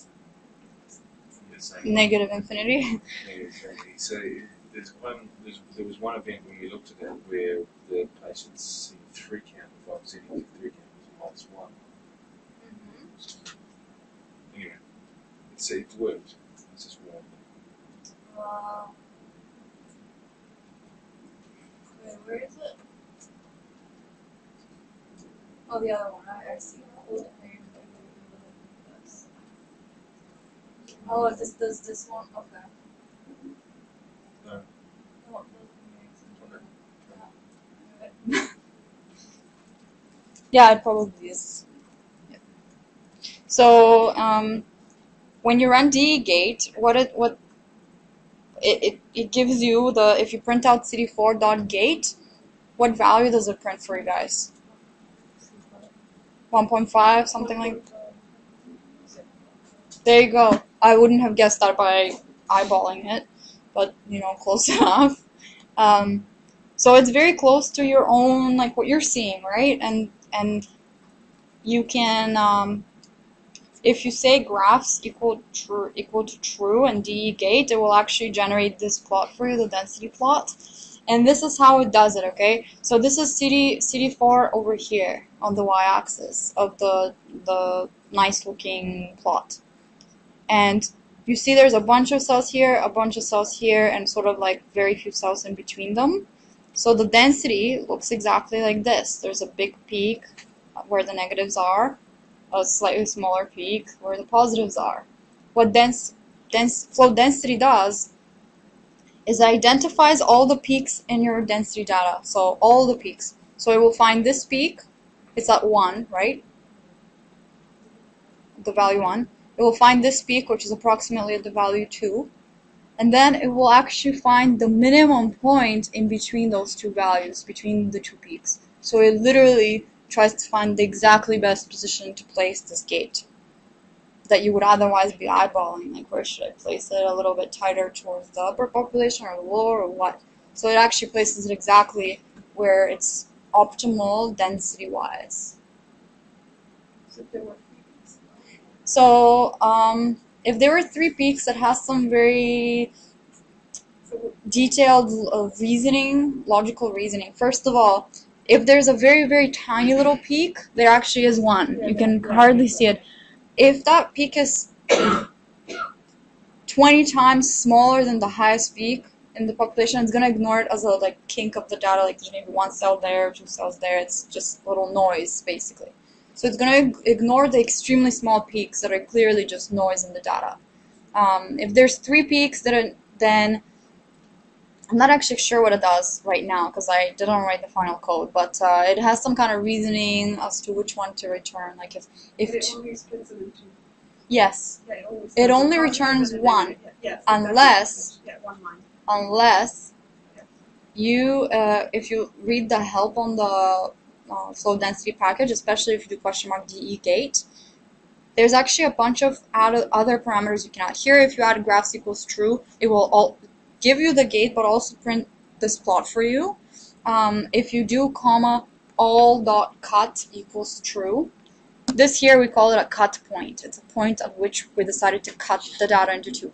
If you do all dot cut equals true, it will actually, if there was a third peak here, it will also give you the, the second cut point. So it will give you all the cut points that it found. So if it found four peaks, it will give you three of the cut points.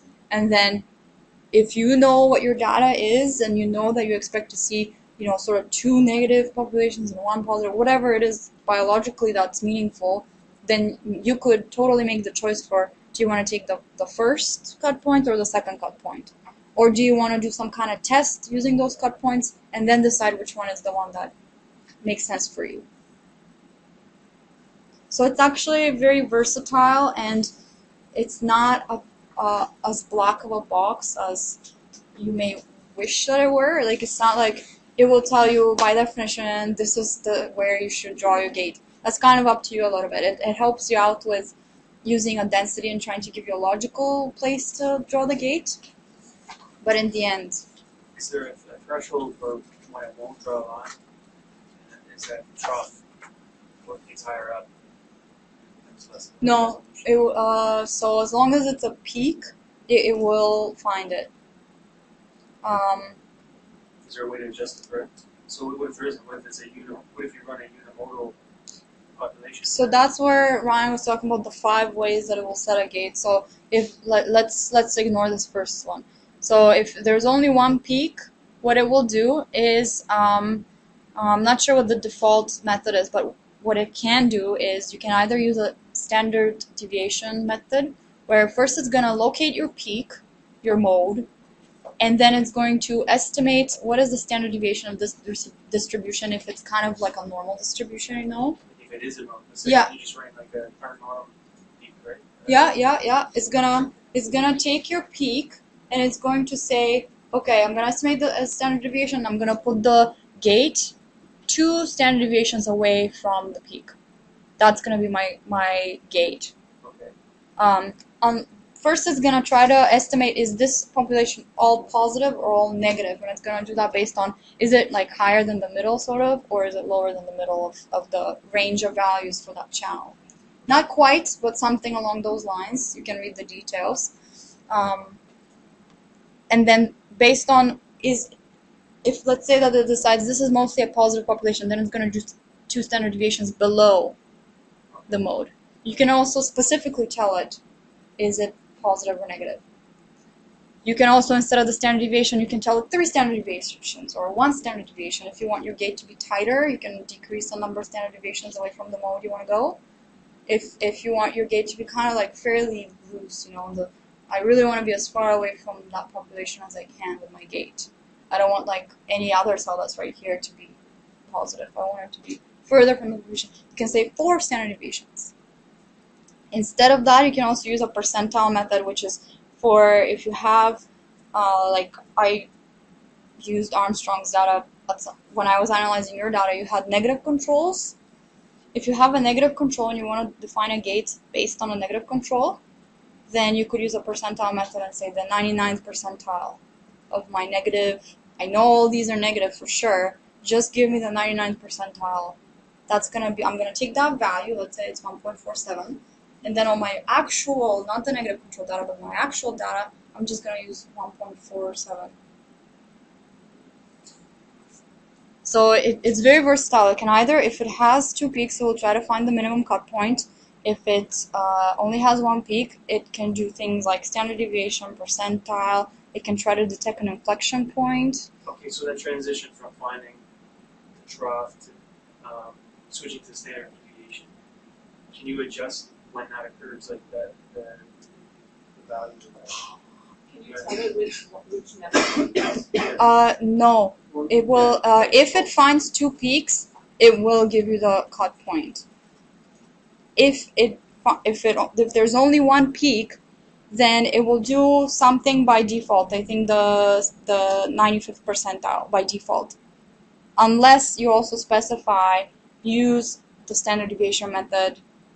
You can say uh, gate this and use the standard deviation method.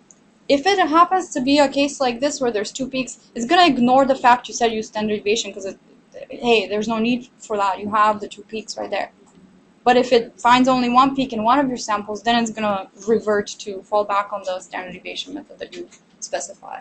You once this package comes out in Bioconductor, I guess we'll send you an email and there will be a much more detailed step-by-step example of if your function looks like or if your density looks like this this is what it's going to do and and so on Is that currently like in our VM environment right now?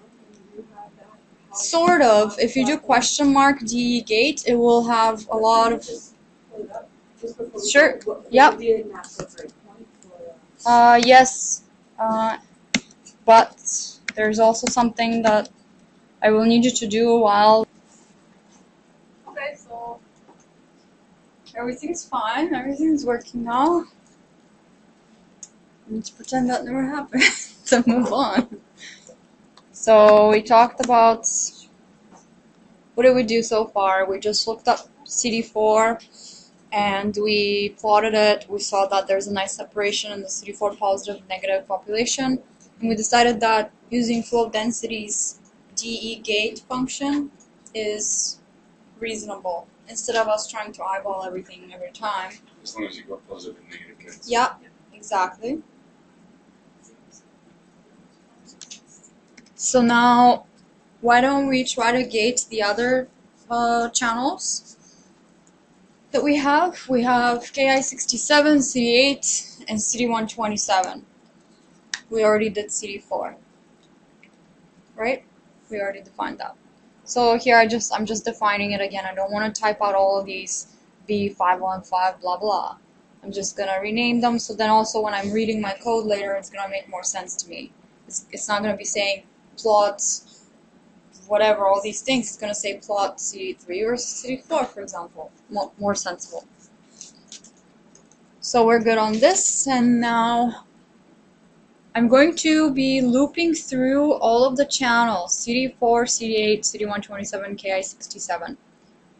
All the channels of interest and I'm going to be using uh, DE gate to define the channels, but I want to store them in, in a vector, right? I don't want to just loop them, calculate them, then replace the value and just plot it. I, I want to actually store these values. So for the purposes of storing these values, I'm going to define an empty, uh, basically a vector with the values negative infinity. In the end, I want that the vector store dot gates I want it to look like this. I want it to be 1.47, comma, 2.1, comma, 1.3, comma, 1.6. Those are going to be the gates for CD4, CD8, CD127, KI67. That's what I want. Does that make sense? I want to have a variable which stores my gates. And it's still gates. And it's called so- stored gates. So, so one minus infinity.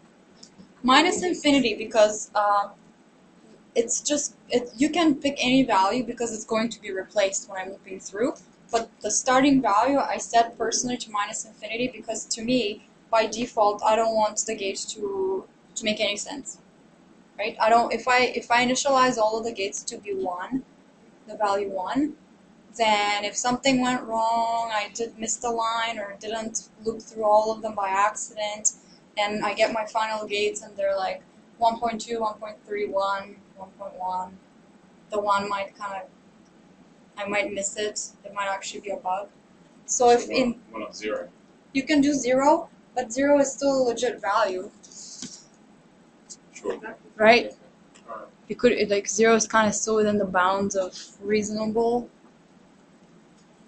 It's So a personal So choice. it's but it's it's an imaginary number. So Exact. Well, yeah, Is- is it's it- not imaginary. it's not a number either, but that is a different concept. workshop altogether. yeah, it's a concept exactly. Okay. So um, this is my own personal programmer's choice of default value for a gate. You can choose your own, and it will be replaced. So I'm also just for good programming practice going to give names to the uh, elements of the vector because I want to make sure I don't accidentally mess up. Was it the was the first number the CD4 one or the CD8 one? I don't want to you know, I, I don't want to have to keep it straight in my mind always that I decided to, to, to do it CD4 first and then CD8 and then CD127 and then KI67. I don't want to have to remember that. And also just for debugging purposes. So if you print out store gate, you should see just a bunch of negative infinity values and with names. So now, while I'm assigning values to this vector, I'm also going to be plotting them and visualizing them just to make sure that DE gate is doing what I expect it to do. So, I'm gonna go through all the channels in this order, CD4, CD8, CD127, KI67 what I'm going to do in this loop is plot the, um, using flowDensity's plotting function, the pooled frame, and on the x-axis I'm going to plot CD3, and on the y-axis I'm going to plot chan. That's the thing I'm looping over. So I expect to see four plots, CD3 versus CD4, CD3 versus CD8, CD3 versus 127, CD3 versus KI67. because I'm looping through this, one of my channels is going to be changing, right? The other one, I chose CD3. You can choose side scatter. You can choose forward scatter. Something that doesn't change with the loop for the x-axis. It's up to you. I chose CD3 just for the purposes of visualizing. On this line, now remember how you can uh, get the first entry of a vector by saying, you know, your vector name and then square brackets 1, right? That will just give you your first. Or if the entries have names, instead of 1, you can just say the CD4 channel name. You can index by name instead of by, by number. Because I gave my vector names to begin with, now I can just that entry, instead of negative infinity, I want to replace it with the actual gate value. Okay, DE gate of the pooled frame, comma, the channel that you want the gate for, is going to return a value. Like before, for the CD4 one, it returned 1.47 or something like that. So this part here is going to return something such as 1.47. I'm going to put it in place of the negative infinity of the store gates in the spot for the channel that I'm at in, in my loop.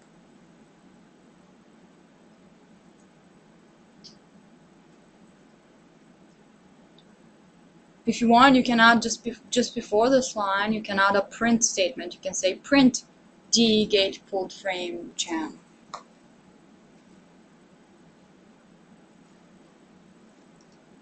Then I'm also going to, because this plot is going to be active, I'm going to add a line to visualize the place of this gate.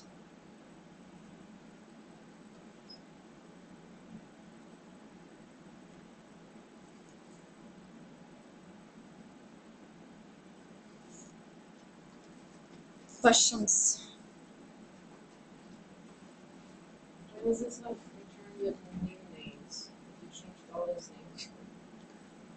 So the, the, vari- the variables, the names of the variables are still.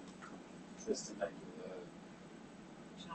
the. see the names exactly. The names are like one of the fourth name is Ki sixty seven, but Ki sixty seven is actually B five one five, right? I'm keeping them like this because they're still like this in the flow frame. So if you if you gave um, if you tried to plot the frame and you said CD3, it would be like there's no CD3. There's only R780-A in the flow frame. So CD3 is actually a variable. It's not a string, uh, and it's a variable that just helps me avoid having to type the string. But really, it's the string that's there.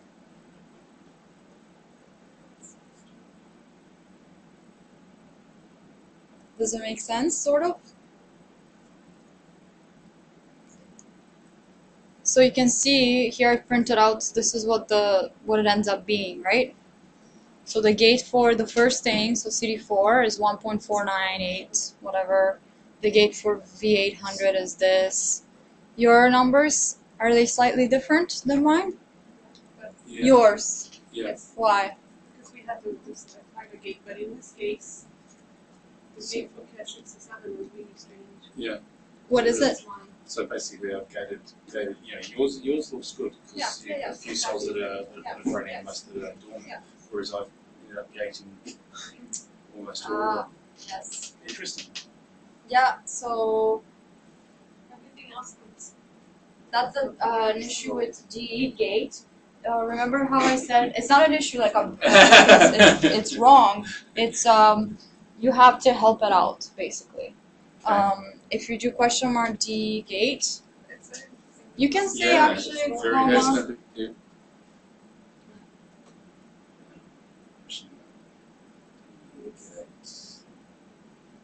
Look at the upper. Actually, this isn't the most amazing explanation. Uh, no offense, but these never are. yeah. Uh, uh, so if you do upper equals true in uh, your DE gate uh, call, yeah, here where you call DE gate, if you put a comma after chan and say upper equals true, it may, I'm not sure, but it may help it. Uh,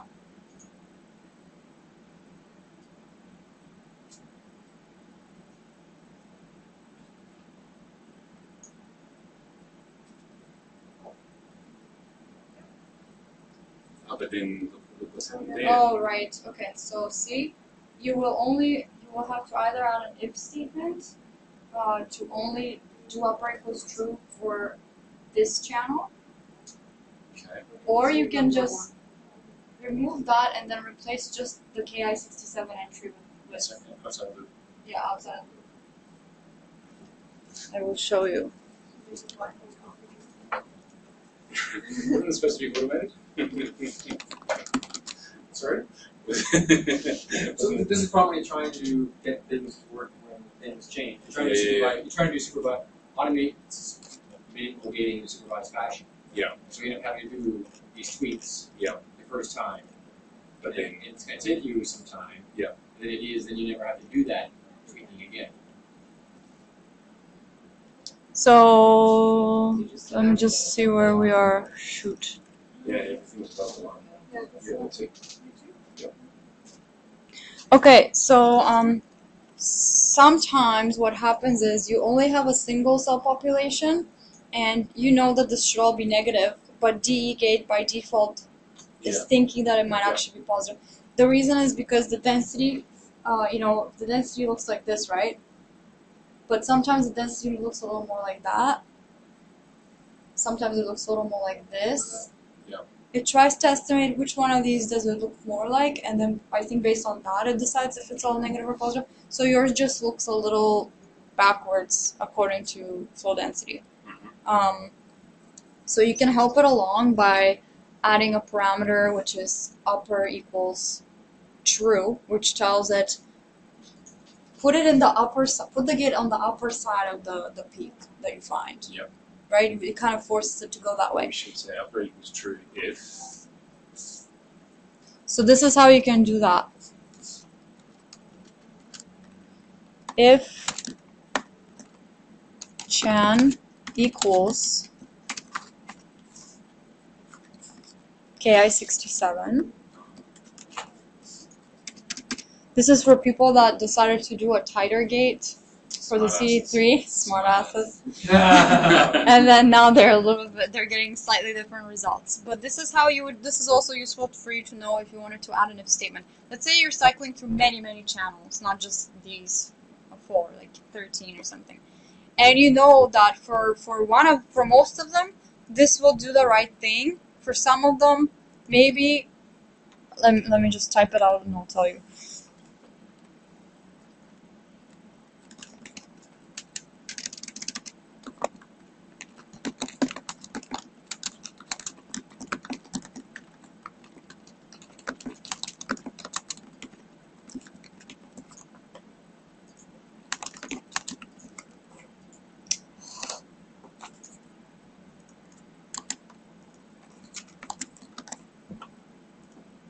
let's say that for some of them you you want to use what make use of one of the extra parameters that deGate has. For example if the channel name is ki67 then maybe you want to add something extra to deGate such as use sd use the standard deviation method.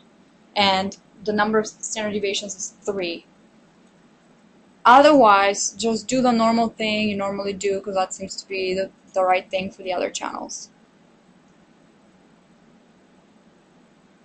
in fact, if your um, gate is so bizarre that there's really no logic to it, but you know you have decided it's gonna be like this, you could even do something like this instead. This is one option.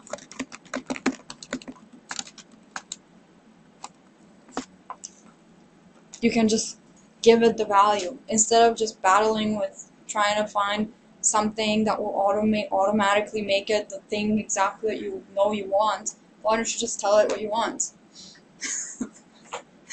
Know getting at its best. yeah, exactly. uh, I, I have had to do this when I get data sets that have not really good compensation and really there is no way of automating the manual analysis. And I have made the biologist aware of the fact that perhaps their data quality is not sufficient for any analysis, but they insist on me trying to do something anyways. And I say, fine, let me do it for you anyways. You tell me the number where where the gate should be, and I send them a plot of this is what I'm looking at. You draw the line where you think it should go. I can't tell, and they just draw the line somewhere, you know. And then I just put that value in and give them the results, and and look, the results are terrible. There's nothing. It's all random because it was all not very good. But you can give it a try still, or or maybe it is one of those weird looking stains that it just always looks really weird, and you trust that your expertise is sufficient that you can manually set the, that one gate. So there, now you have an if statement if you ever needed to um, use that.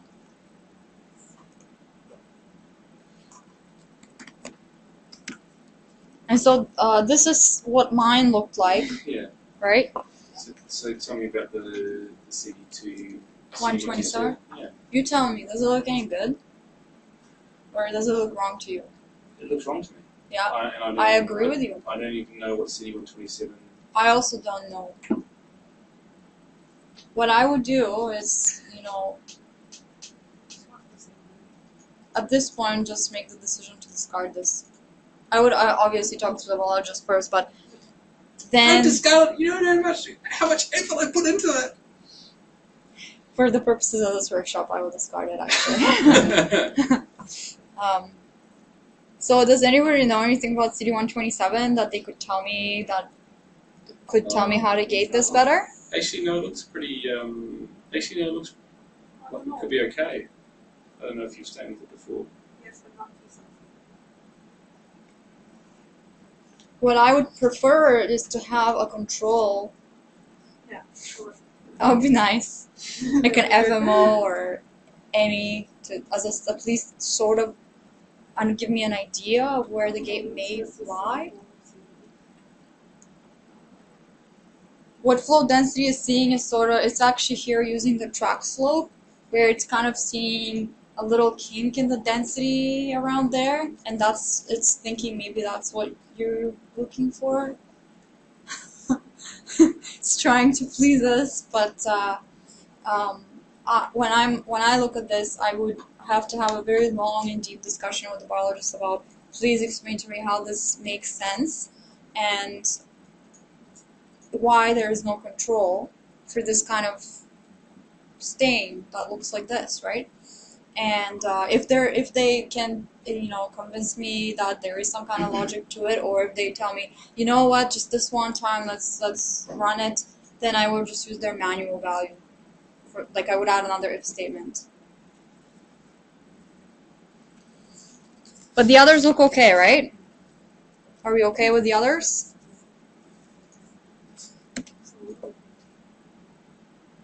So I just want, because remember this is the uh, pooled frame, I'm plotting the pooled frame. So what if the, the problem is not necessarily with CD127, but the problem is with my pooled flow frame? Maybe maybe for this particular channel there is a quite a bit of variation to the point where if I were to just plot one sample, maybe there will be obviously obvious where the gate is. But because I'm combining all of them, maybe I'm superimposing them to the point where I'm uh, hiding the split point. So what I have done is I have plotted uh, side scatter versus CD127 for every single sample and just trying to look at that and see is it still not obvious where the gate should go. And to me, it still is not obvious where the gate should go.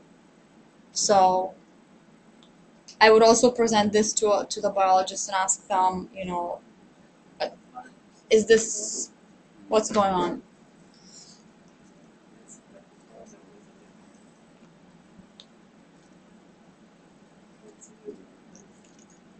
Does this make sense so far?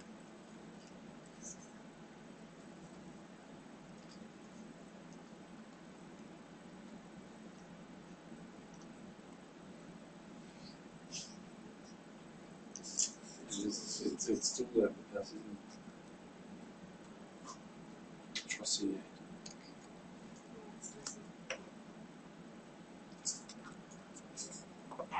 You're trying to plot it against other things, or yeah, yeah. So so that's a good point actually. Um, It really helps when we don't know where the gate is, setting another color helps a lot. it didn't help. huh? It didn't help. Uh, CD4 is a bit better than the CD8, but it's. I still don't think. I think it looks like it's a compensation thing, or like autofluorescence. high or low. See what I mean? Right. Like there, you know, some of them, the basic, they almost Yeah, the yeah, same shape, but it's just shifted along the Yeah, yeah, and so on, exactly, so which makes yeah. I tried it. I tried plotting it against other parameters as well. It didn't. It didn't make it any more obvious. Okay, uh, I've actually, s- yeah, so plotting it against KI67 gives you something because KI67 is a proliferation marker and 127 is a memory marker. So you actually start to see some, yeah, so you actually start to see, so the gate's probably about here. Yeah, but the, C- the, the gate shifts each in each sample. because because each patient has a different proportion of proliferating memory cells.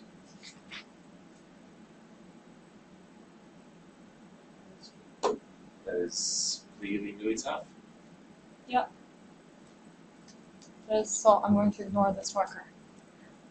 We can't because we've got all these patients doing. No, for the purposes of this workshop.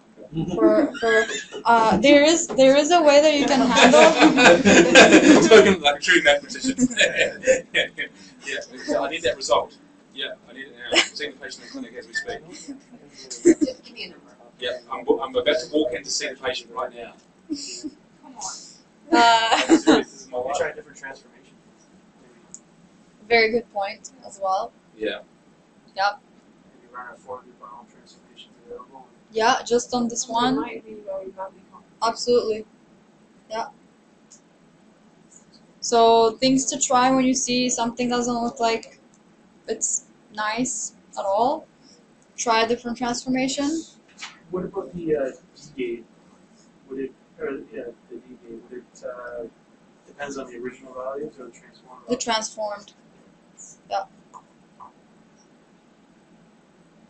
It, it that's why you need a good transformation. It's not just so we look at it and it looks good, but the method looks at it and is able to distinct. You know, when you have two Yeah. peaks that are extremely close together, uh, sometimes it's the method won't be able to um, believe that these two peaks are actually meant to be two separate populations because they're so close together. It could be an artificially created double peak because uh, what deGate actually does is uh, the way that it estimates the density of your points that you have is it kind of smooths it out uh, a little bit. Because if you do it exactly based on all the points that you have you will have little kinks right? Like the actual density is little kinks of dots individual dots. Every little dot that you have is going to be a little peak on its own right? Um, so there's a little bit of a smoothing procedure that goes on it would just smooth right over if you do the if you don't transform it. So things to consider is possibly going back uh, before you transformed your data and transforming just this one channel using a different transformation, maybe using different logicle transform parameters.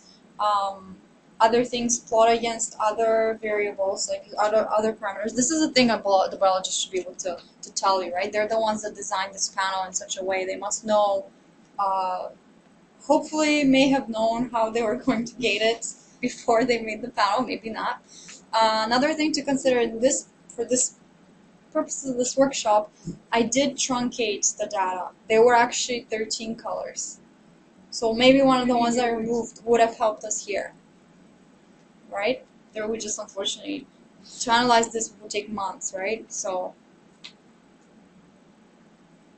so anyways, for for the, these are just things to keep in mind that you can go back and try to do a different transformation, like you said, plot against different something different, and if ideally have if it is possible to have some kind of uh, control, um, the way you would incorporate the control would be in this if statement.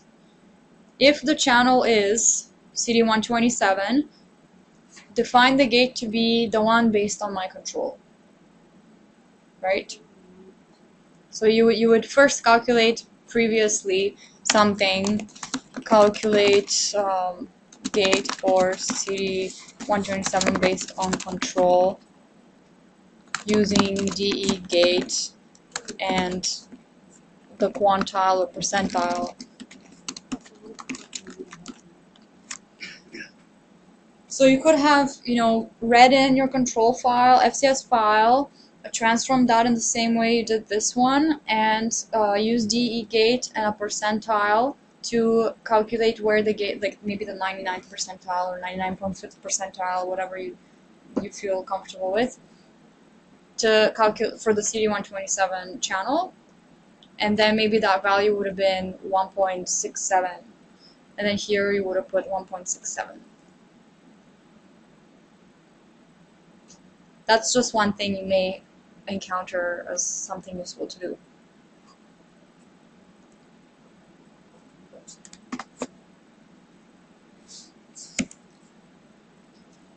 So for now, let's uh, just ignore CD127. So at this point, we only have CD4, CD8, and KI67 to work with. And we can at least try to plot the gates for, for that and at least make sure that those gates we are happy with for all of our samples. I only, um, I'm only showing the CD4 one. Does this plotting thing make sense? It's the same, plotting the same, like we're just looping through. Uh, first of all, I define my plotting region to be 5 by 4 with my margins a little bit smaller than the default one so we can actually see it on the in RStudio. Then I'm going for i from 1 to 20 and plot dense, the flowDensity plotting function. Here's my flow frame, my two channels I want to plot. So I'm plotting CD8, uh, CD4 and CD8, and then I'm doing a CD8 versus KI67. You can do whatever other one. I just want KI67 to be also plotted. Um, then I'm drawing some straight lines where the gate my gates were. So abline is the straight line, V is vertical, and what value do I want- for the vertical? I want the store dot gates CD4. I want the whatever value it was, like 1.67, whatever, 5, I don't know. I want that, that value to be plotted. Twice the line width of normal line, blue. Any questions about this? This plotting thing? No? Everyone's totally cool with that because we did it so many times. And you can do it now too from scratch. I thought so. I have a question about, um, how do we, can we go back through, uh, one, Where we the store dot gates? Yeah. So how did we, how did we get, how did we get store dot gates as a, as a variable? So here, this line, Okay, so then start out gates, rep means repeat, negative infinity four times. It's going to give you a vector that has the values negative infinity, negative infinity, negative infinity, negative infinity. Does that make sense?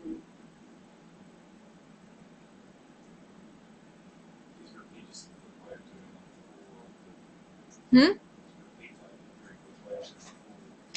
a quick way of doing. A for loop? What do you mean?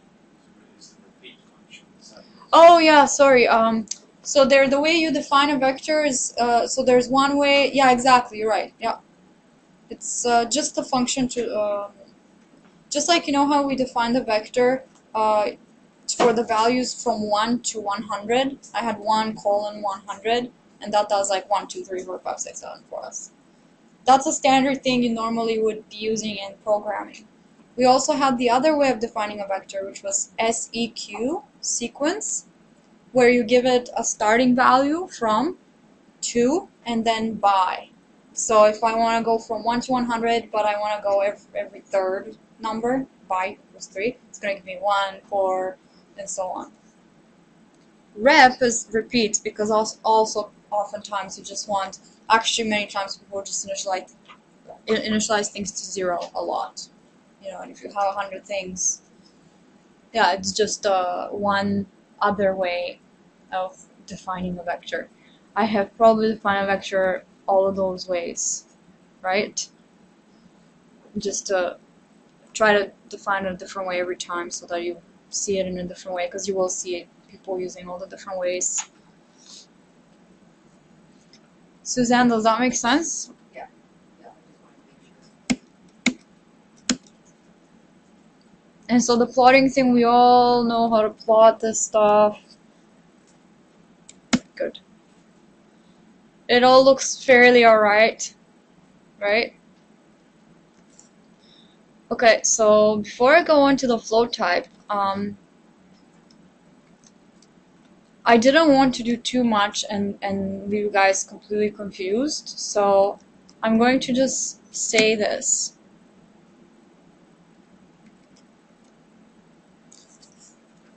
we used deGate to define the gates, right? Using the density, it was very nice, very automated, and blah. But we really used the pooled frame to do that, right? We took one pooled sample from all, all of our data and used deGate to help us find the gates, but we're applying that exact same value to every single flow frame. But like you guys know, typically the gate varies just ever so slightly between samples. It would be really cool if we could just, you know, automatically move it for every flow frame individually. And you, you technically have the tools to do that. You should be able to do that on your own. You, you would have probably for loops and things like this, or how would we be able to do that? Where do I get the gates here?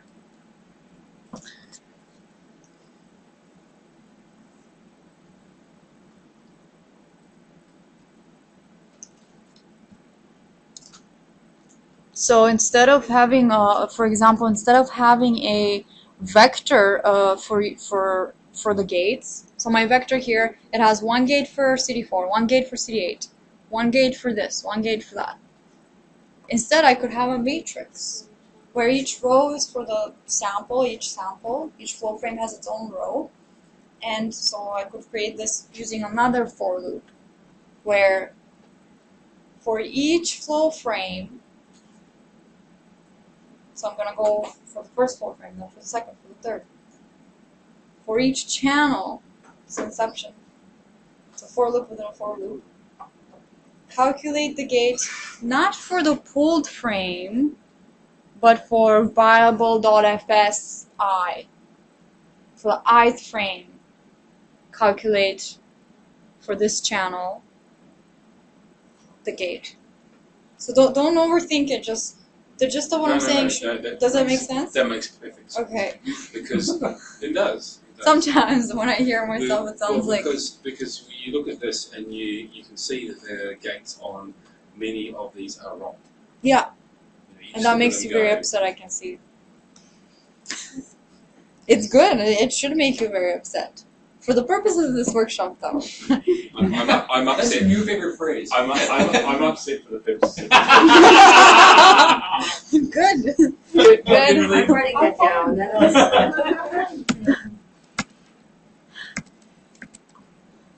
Uh, so it, it's because honestly, the, the, this analysis, it's uh, this is really the steps that I go through every time I analyze a data set. I'm not hiding anything. I'm not doing anything fancier than this. Really, honest. It's just um, for every different data set, there's slightly different things I have to handle. Maybe the transformation will take me a bit longer to get the right one. Maybe the move, removing the debris won't be so easy, and I'll have to fudge with it a little um, all these little things i it, it will take me a month to analyze a data set like this anywhere from 18 to to, to i don't know what's the biggest Five hundred? Yeah. Five hundred, yes, yes. Yeah. Or Oh, 500 oh, 500 oh. 10000 Well, no study. Okay. Yeah. Published studies. Yeah. And if you're doing, yeah, doing that, then you want to probably not run so all, all your stuff you're doing here can run on more powerful computers really easily. And so we haven't covered this here, but high performance computing is really easy to do on flow data. Getting stuff on servers, everything works sharp. But don't try and do that locally. And don't try and read large file, large files in to your small machines unless you use like NetCDF flow. Just bog down and slow. So don't don't. you have a good know, fast computer though So let's see if we can break it. So uh, still still based is channel viable dot fs brackets i and then the same. then first you will have to initialize Exactly. Remember how we initialized the store gates to be a vector of 4 with the negative infinities? Now you have to initialize it to be a matrix. You couldn't do question mark matrix and C. No, she taught me that before. Yeah, okay, good. Isn't it matrix? Matrix. Yeah, just matrix. Negative infinity. Uh,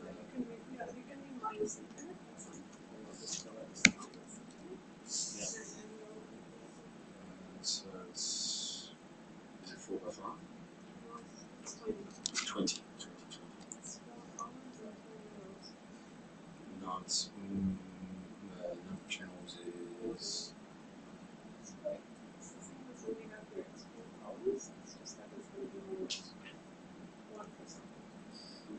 yeah.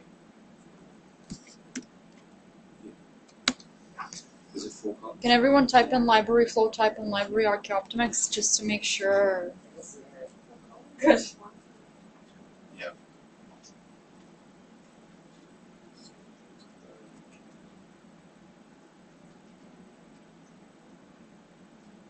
frame plugged in Continue.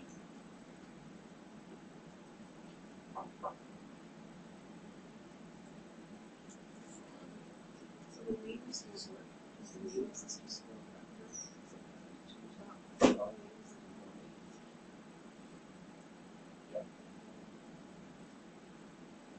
So that will be Connor.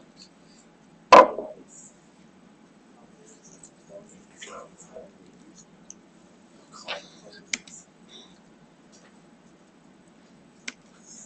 Sticky breakers. That's all I'm sure it will work from the first try. Yeah. That's on the camera job. So it will work. It's because that's not the way we utilize the nature. And road people from Did everyone's uh, gates kind of look like this at some point? Yeah. Okay. Good.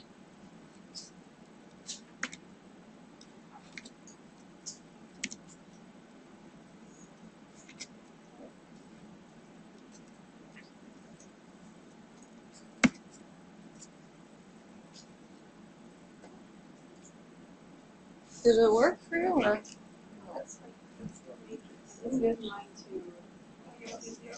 All of mine are. Did you use a type gate for um, your scenery? Um, You didn't use the one in one point five to one the matrix top problem. I cannot tell it what is what, so I, Oh, fixed the first to be on my tools, but it's the opposite, so you just like color. Equals four. Uh, let me show you what you should add in your store gates. So I, I added everything you had there, but it didn't show it. Did you run it? Yeah. Can I see this again? So that's the col- that's the thing. There.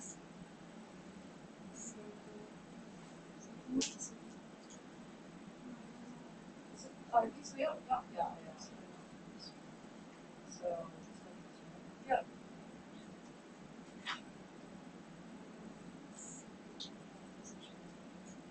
Um, sorry. Text description.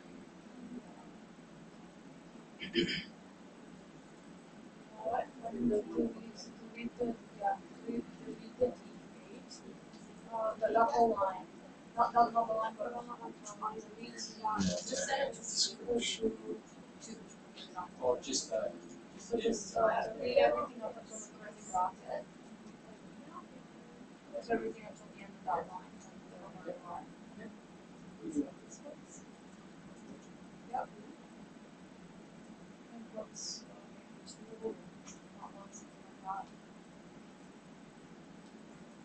Sometimes if uh, no matter what you try, like if you try to use a different method for automatic detecting the gate, and it just won't do it, and don't waste your time because you can see what the gate may be, just type in. No, just, no, just put the box, just, yep. Yep. Now, now it and it should be, it should be fine.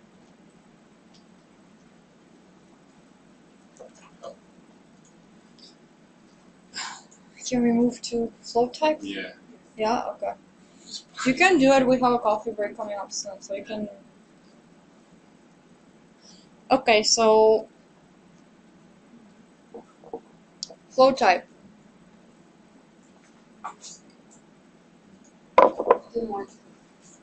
It didn't. No. Okay, something's. Something's weird.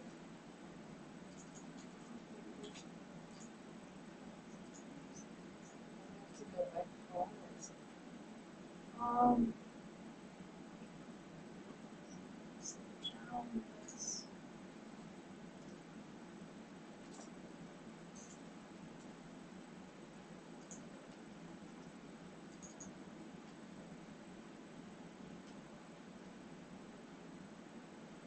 Oh, it's because you also have this line, so no matter what, you're also replacing it by this. this. So if the channel is this, you do that. Else, we do that, but then you also do that again. That's what the problem is. We're replacing whatever value was entering. Oh, was it just another example? Oh, I should have, That was there originally. I just added the Ah. else and found it. okay. So I, I.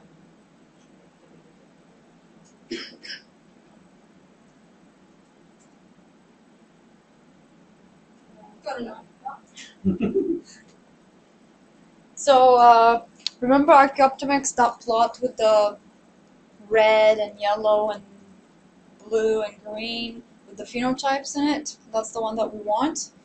Um, in order to create that plot, we, um, we first have to find all of our proportions of all of those phenotypes. So, let all our phenotypes, for example, one of the phenotypes would be CD4 positive. We have to calculate what is our proportion of CD4 positive in each of the samples, right? That's what flowType does. So flowType is a package which calculates the proportions in all phenotypes possible in your data. So you give it your flow set, rather your flow frame actually. You give it your uh, the markers that you're interested in. So we're not we're not going to be calculating phenotypes based on forward and side scatter, right? So we're not going to give it those. We're going to specify we only care about CD4, CD8, and Ki67. So when you call flowType, the first thing you do is give it the one flow frame, the prop markers, the, the proportion markers, the ones that you care about. Here they are 7, 6, and 4 because CD4 is the seventh channel, CD8 was the sixth channel, Ki67 was the fourth channel in our data, in our flow frame. Then you have this methods that you have to supply to flowType. And that's the method, how, how do I separate positive versus negative? What method should I use to tell for each of those pro- proportion markers give me? What method should I use to separate the positives versus the negatives? Just the gates, right? It has an, alternative where instead of uh, the gates, you could specify some uh, automated method of calculating like k-means or something, but that's not gonna work very well. So just we're just gonna always work with our own gates. We're gonna first calculate our gates and then give them to flowType. So here's our gates, store dot gates, and what does this do? Does anyone know? Why do I have this?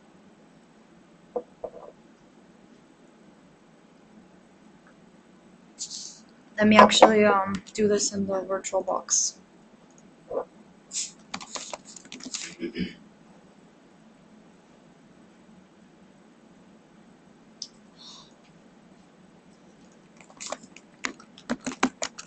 So these are our gates.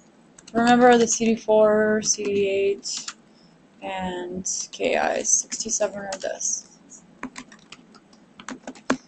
To get the CD4 one, I can just go like this, right? If I wanted to rearrange those,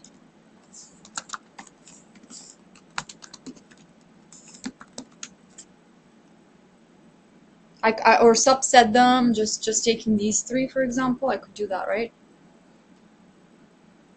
So sometimes when you have many, many parameters, many channels, and many gates, you, you may accidentally get the order wrong in one of them. So in order to keep consistent your order, instead of subsetting things with indices like 1, 2, 3, try to use names as much as you can. So the reason why I have this here is because I I I'm using uh, actually remember how I had CD127 before? Now I don't right? So if I hadn't done this part actually I I should be like this right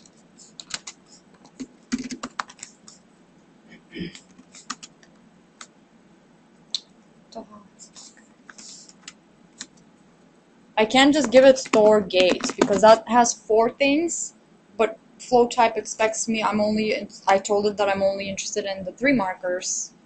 So which gates should I be passing instead of saying I know that the CD one twenty seven was the third gate, so I could have said store gates, uh, give it the first, the second, and the fourth.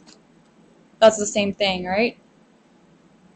But just so that I don't get myself confused with, you know, the seventh channel is CD4, but the first gate corresponds to CD4.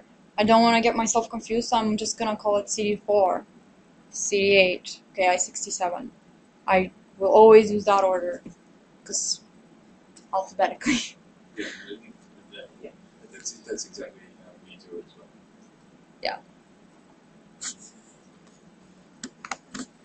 So this part makes sense that the, the method that flowType is going to be using to uh, define my phenotypes, you know, which, which cells are positive, which are negative, is the gates that I have calculated in my own way. However you want to calculate them, flowType does not care how you calculate your gates. You could have just given them numbers, manual numbers, you know, two, four, six. Or you could have used flowDensity, or you could have used any other method that you want. And then just for the purposes of flowType, making sure that it's going to uh, give them nice looking labels so that the, the phenotypes are going to have nice names. Um, I'm using the, um, first I'm redefining the call names of viable.fs and I'm going to just give it that so that it knows what are the antibodies that I'm working with. This is how you can rename the call names of the your flow set. Remember how before they were forward scatter, forward scatter, side scatter, V650, whatever stuff. At this point, from now on, I'm going to be looking at phenotypes. I don't want to have a phenotype V650 plus 4780 AR minus. So instead of using the cytometer you're using the Yes, effectively here the antibody disease. yes. Technically speaking, you could have done that as a very first step when you first read in your flow set. You could have you could have renamed everything. I didn't do that because sometimes when I'm plotting things, flowDensity also adds the the channel like the channel name and the antibody name. Some people like I know it it has meaning, right? Which detector was was used. So that's why I didn't do it earlier. But at this point, all that I will care be caring about is the phenotypes, which are based on the marker names exactly. Does it does it make sense how I renamed the call names of viable.fs? Does that make sense? I just replaced whatever that would typically return to me with the thing that I wanted to return from now on.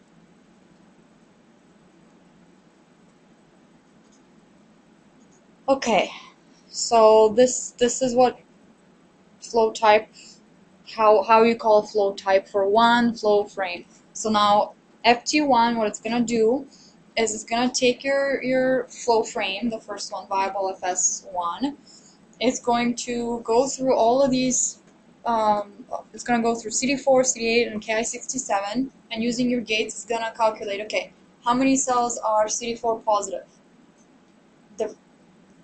The, then it's going to go, how many cells are CD4 positive and CD8 positive? How many cells are CD4 positive, CD8 positive, and Ki67? How does it do that? It just uses the same things we did before, which uh, you know, express F uh, CD3 is, or CD4 is greater than 1.67 intersect with, which are Ki67 greater than the Ki67 gate. So it just uses a combination of which and intersect statements that we have been using so far, but it's going to do that for all the possible combination of these three markers with pluses and minuses. So it's just for, for your convenience. It's not doing anything super crazy, it's just saving you some time. So on that line right there, um, it says flow type, two flowType pass, the find call viable.fs double bracket one. Mm-hmm. Viable.fs double bracket one, what is that? It's the first flow frame of Why the. double brackets? Hmm? It's unusual to me to have double brackets in there, is this in that? It's like a list, right? Um, you know how a vector you have single brackets. Uh, a list you have double brackets because a list is more of a deeper structure than just a simple vector. A vector just has one like a number like one, two, three, four. A list can have like much more complicated things in it. So for that reason, we're like If, if an actual programmer heard me explaining this stuff, Handwriting's But, but, but it would be, you know, but you were talking about stuff that's just, it's intrinsic knowledge. That's just the way it is. Yeah. Yeah. That's, Yeah. that's just learning the language. Yeah. Sorry. Syntax of. Yeah. That's what We we only have so many characters on the keyboard. yeah, yeah, exactly. so what does FT1 contain? Uh, did you guys take a look at it after you calculated it? Like when you print it to the screen, it has a lot of things. How would we like instead of like scrolling up all this way, how could we explore it a little more efficiently? FT1 at tab. Did everyone get to that? Yeah? I typed FT1 and then at and then I press tab to see what are the possible things. So let's look at the first one. What is that? So let's see the first entry of that. CD4 minus C8 minus 700. There's 700 cells, which are CD4 negative, CD8 negative. And it, it, see, see what I mean? Like if you had to, if I asked you to, on your own, can you calculate how many cells, can you count how many cells are in the phenotype CD4 negative, CD8 negative? What would you have done? You would have had uh, one line of code saying the CD4 negative indices are which express my frame CD4 is less than the CD4 gate, and then intersect dot with which express F CD8 is less than blah blah blah. That's what flowType does for you. It's kind of just takes care of that. Will it work if you use the sort of decay? Yeah. If it splits it into three? Is it gonna say C four minus C four zero Dim. plus ten? Yeah. So not this one, but the new version will will have three levels instead of just always having to call it negative or, or positive. You will be able to have a medium population. Just one medium? Yes. I I- actually I'm not sure. Uh, I don't know. I'll have to ask. It should be coming out, or Ryan should be making them make it come out very soon. Kieran and Nima. Um, they're waiting on Olga to finish the paper. Okay, Olga's PI. okay. You can't make them do anything. Okay. There you go. it's coming out soon. um, so does this make sense? What flowType has done here? Does it make sense? It just okay. It's. What else does it have? For those of you who are interested in MFIs, um, it has also done that. If you have such a data set that you feel is um, gonna benefit from using MFIs instead, This is, this, you know, these are transformed. you know, this is, the, and this is where it's, this is, yeah, this is where it's starting to get exciting. This is where, this is Yeah. Where au- actually automating all of the shit. Because otherwise, You would otherwise- not want to be doing this from scratch, be, huh? You'd be pinging me in, in Excel. Oh, that's, yeah. That's where, that's, uh, that's, that's the other place we play with this.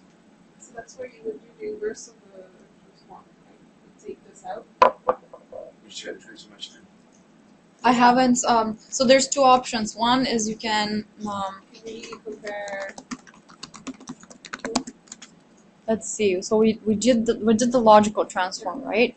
Um, inverse logicle. Hmm. How does it work? So this is like coming up one level in Inception. Exactly. Wake up. Wake up. Where's your Whoever-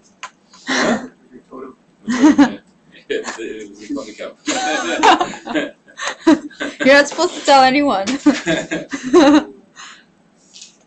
um, yeah. So there you go. Uh, you can probably do that. I have never actually done that. So You know how we define the logicle transform? Yeah. And then we applied that to our data to actually Yeah, yeah. transform it. So now you can Yeah, Define. just take these, right?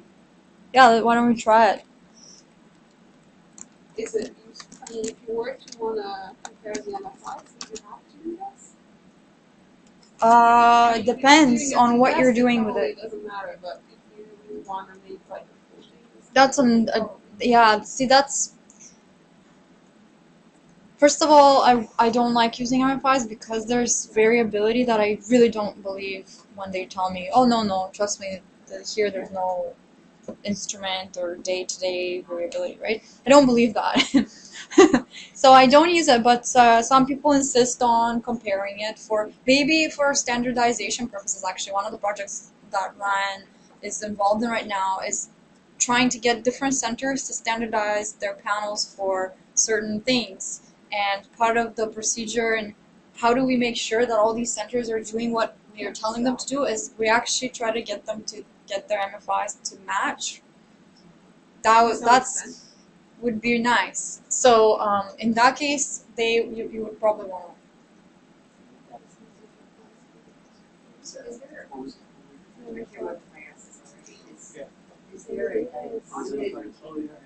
um, bioconductor that,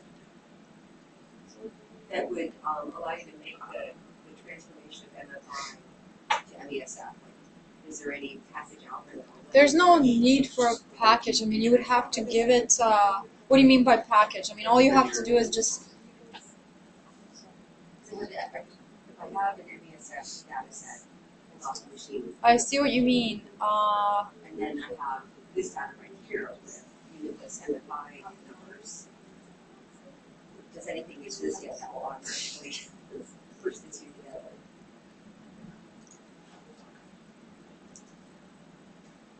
I can't remember if uh, does the uh. Did you hear her question? Does the FlowQB package have a converter between MFI and MESF? No, like that would require a lot of inf- information you'd have to give us about like what voltage you're using and things like that, right? In order to be able to convert between the your MFI that you're. If I just tell you, hey, my MFI over here is 700, what's the MESF?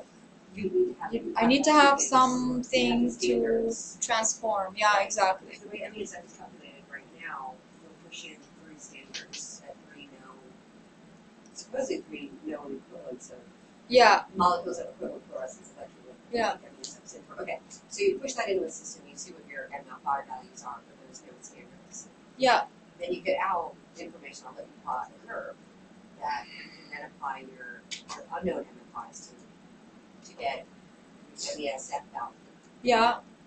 from, which is something that Hello Excel is what's done right now. Yeah. There's one or two, there's one or two, there's only one reagent manufacturer I know of right now that, that offers you the four high spreadsheet that does a conversion. Um, but it would be, okay, so even if then if I have MFR, MESF units for the fluorescence that we're seeing right here, how, here's an example, so for a CD four, CD four negative, CD eight negative, um, it looks like we're pulling in a The- MFI for the KI sixty for the channel one point five nine. Yep. Okay, but let's say I have somewhere else an MESF value Yep. that says that one point five nine is actually twenty fluorescent molecules, or your, Yeah. a real MESF of twenty. Is there, how, so How would you question is, how do I go transform this number back to the original one? Is that the question? to the- to Yeah. the MESF corrected value, to, to the legitimate. Yeah, yeah, yeah. So, um, so remember how what we did was we defined our logicle transform. So here's what we did. Then I did my value was 220 or whatever you said, for example. And it's 0.6 actually. So now I want to go back though from 0.6 I want to go back to 20, right? Um, so here I, I did I wasn't sure if that was possible, so I did question mark logicle transform.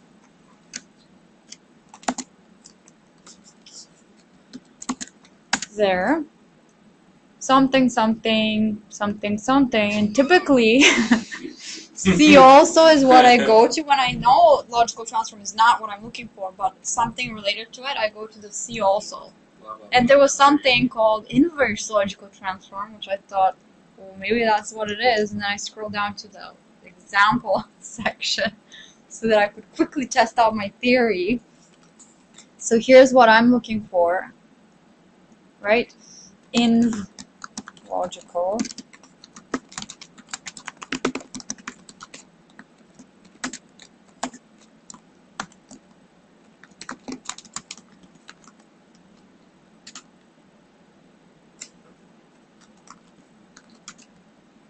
You need to find it until you use the LGS. I misspelled it. I see.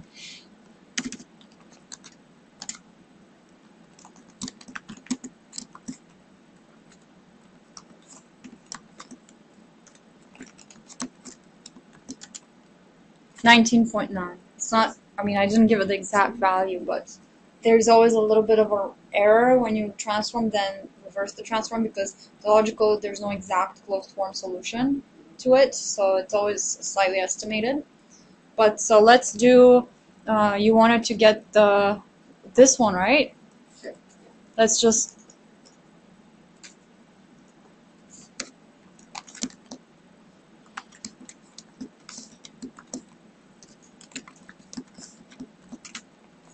Three hundred and ninety.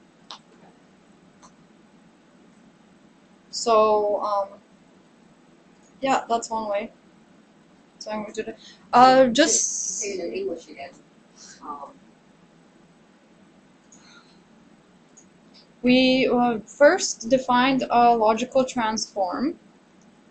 as being something First, I defined the transformation function I will use. I didn't actually transform anything.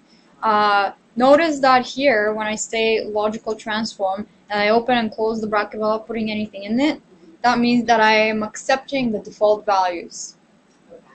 Uh, in this example, if you notice, someone defined a logicle transform. They did not accept the default values. They set their own. They decided they know better. Right? Um, so, you said, right, so let's, let's take an instance of logicle transform, default values, that's what we're going to make the LGLC. yeah. And then I transport my value 20. Previously, yesterday, we transformed all of our expression values of f for every channel. We transformed it using this logicle transform. Now, I did my thing, blah, blah, blah, I calculated my MFI, and it's 1.59, but I don't really care. That's the, the logicle transform 1.59. So I define an inverse of my logicle, right? It will not be the same as their inverse because their logicle uses different parameters than I did. So it's important that you define explicitly how is R from now on going to invert the logicle, my logicle. And then I applied a transformation on this. So in fact, if you want to visualize it a little better,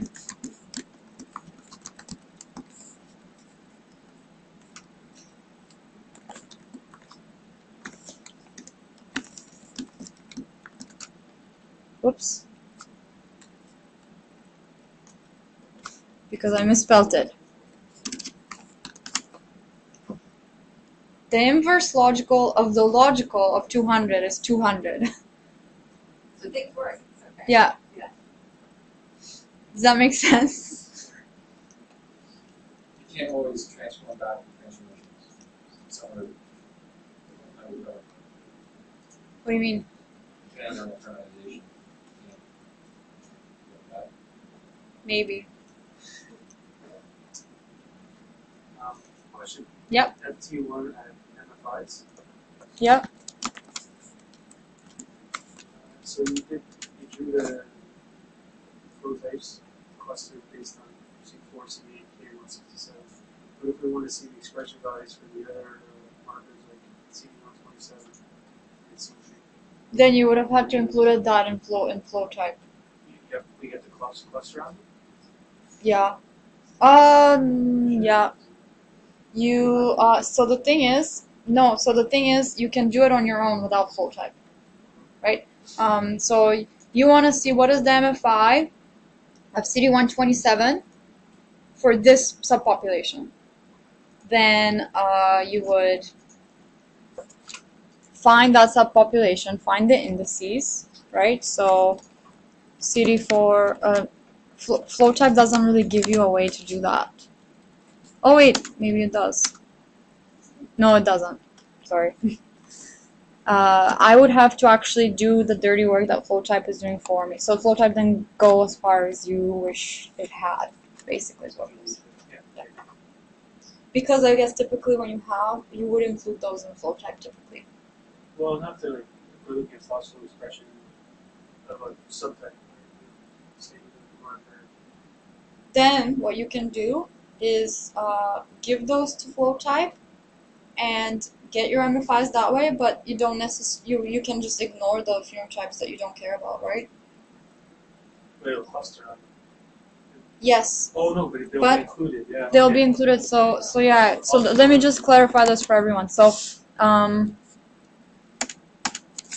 here's all the phenotypes that we've done. If if we had included CD3, uh, we would have had phenotypes CD3 minus, CD4 minus, CD8 minus, blah blah blah. But then we would also have a bunch of phenotypes that don't have CD3 in them at all. So you could it doesn't hurt to add an extra parameter. It hurts because it slows you down a little bit more computation, but you can just ignore the phenotypes that have the CD3 afterwards.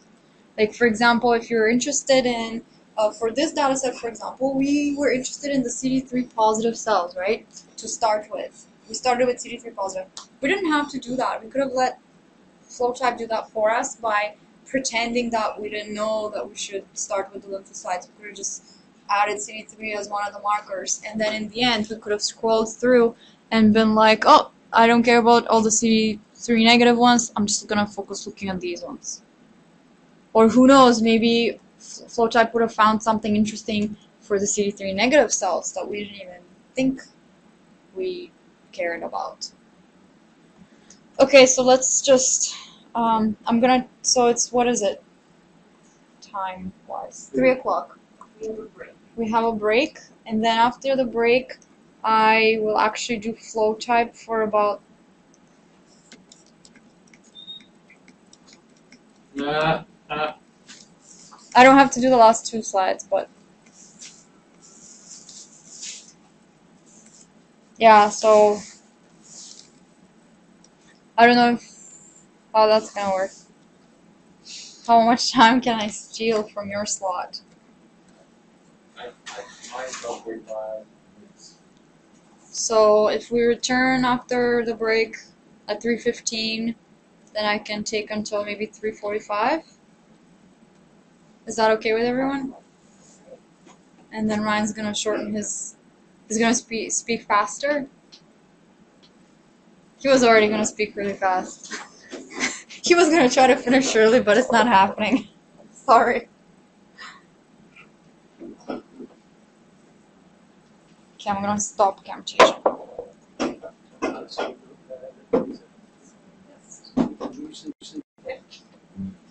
Thank you for doing this. Okay, go.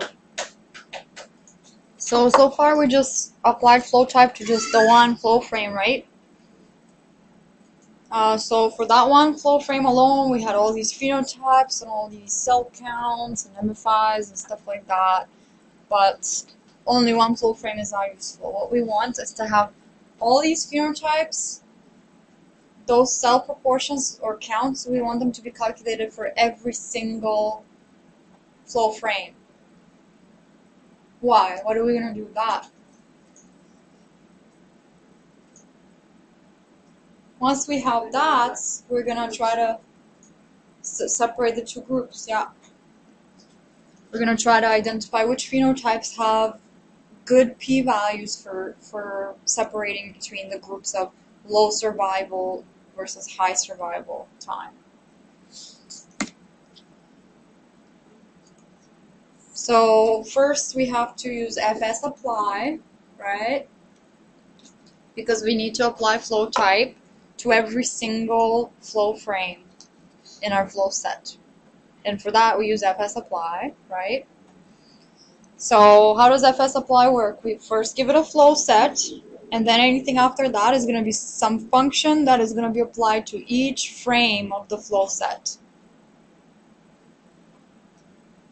And here's the function.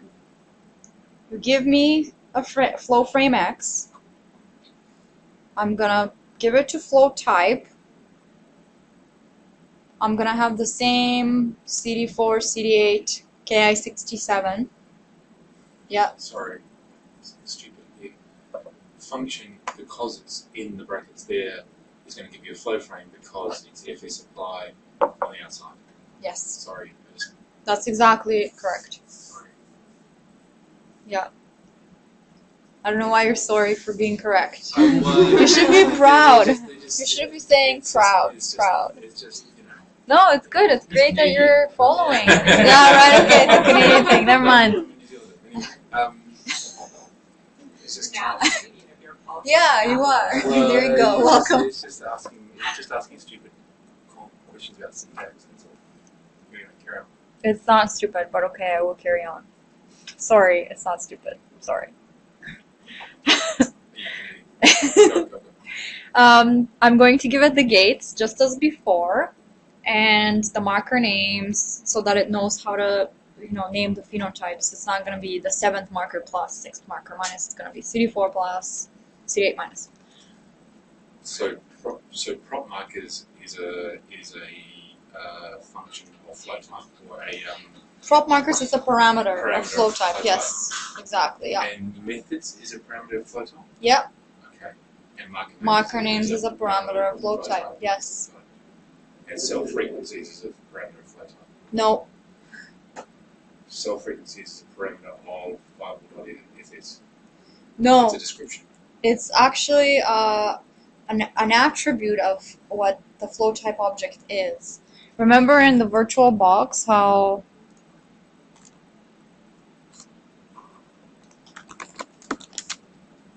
this is what flowType returns, right? So in one line, I have added many things, um, which is the, a call to the function flowType with all these parameters that flowType wants, and I'm not going to be returning for each flow frame the cell frequencies and the MFIs and the blah blah blahs. I'm only going to work with cell frequencies now. Okay, keep it simple, one thing at a time. I can rerun this and use MFIs instead, but that, that's a whole other workshop. Yeah, no, not a whole other workshop, but that, that one you can do on your own time, I'm sure. Code. And then because you want it to do for every row, it's n row brackets I'm dividing by n row of x. So this is what's happening. For the first flow frame, what's going to happen is flow flowType is gonna be called given that first flow frame with all these parameters. It's gonna return the flowType object, but I'm only gonna be interested in the cell frequencies. But all of those I'm gonna divide by the number of cells I have in my flow frame. I don't want the, the cell counts because remember how this is what it this is what it returns. 700 cells. 46 cells in this phenotype. 300 and 3200 cells.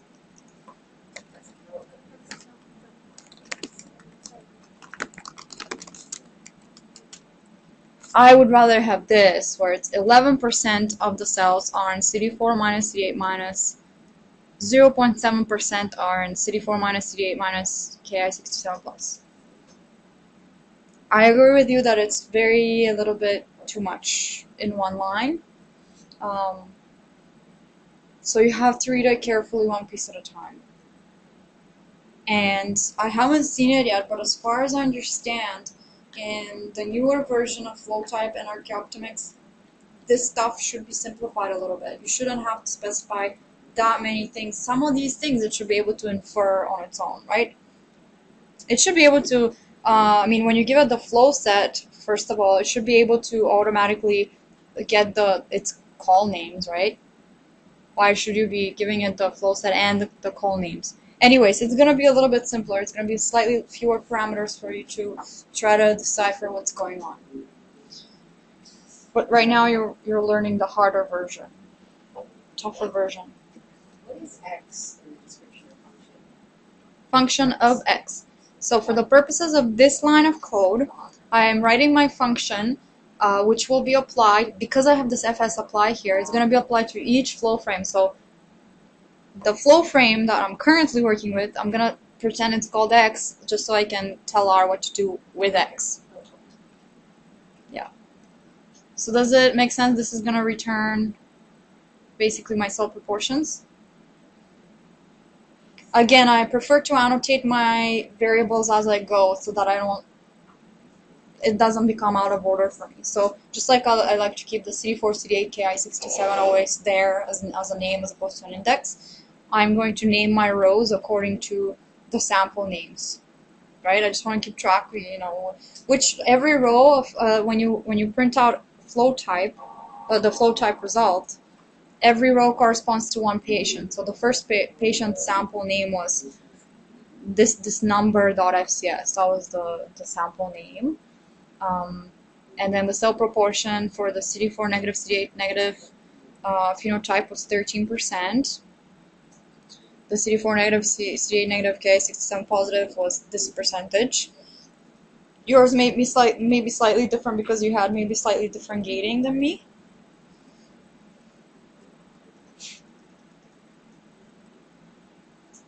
Do the, res- the do the entries of this FT object, the flowType object, make sense to you?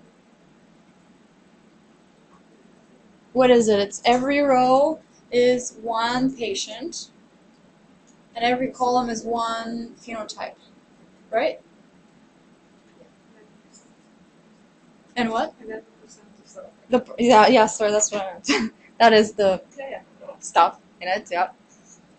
So what's, um, Making sure, because it's hard to keep track of, of a value that's inherent in the, in the flow side of the program versus what we assign to the Yeah. parameter. So you have their, um, the clock markers. uh, Yep. Being seven, six, and four. Yep. Those are referencing columns, seven, six, and four. Or the, Uh, one, two, three, four, five, six, seven. The seventh marker is CD4. The sixth marker is CD8, and the fourth marker is Ki67. and so you know for, so when, when It's so that flowType will know how what marker order I want. I wanted to first start looking on the CD4 and then start looking at CD8 and then the Ki67. Okay, and so where my brain's disconnecting is previous to that, you had talked about Naming things, maybe. that's because flowType wants it like this. I didn't make flowType. Ah. There. Um, maybe it will be fixed in the newer version. I don't know. Okay, It's, so, it's so that, so there is something that feels a little. Yeah. yeah, for sure.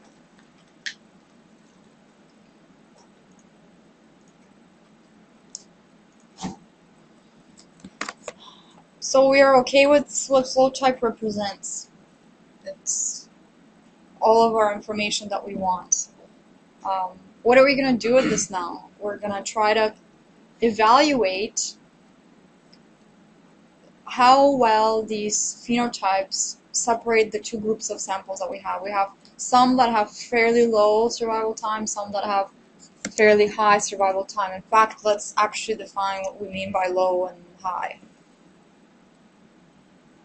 Remember though, at some point we had this plot where we um, were gating the live cells, and that was not here. Never mind. Remember how that was yesterday, I think. Um, some of the viable cells, the ones that are CD3 positive live, had almost no cells in them. In fact, why don't we check how many cells?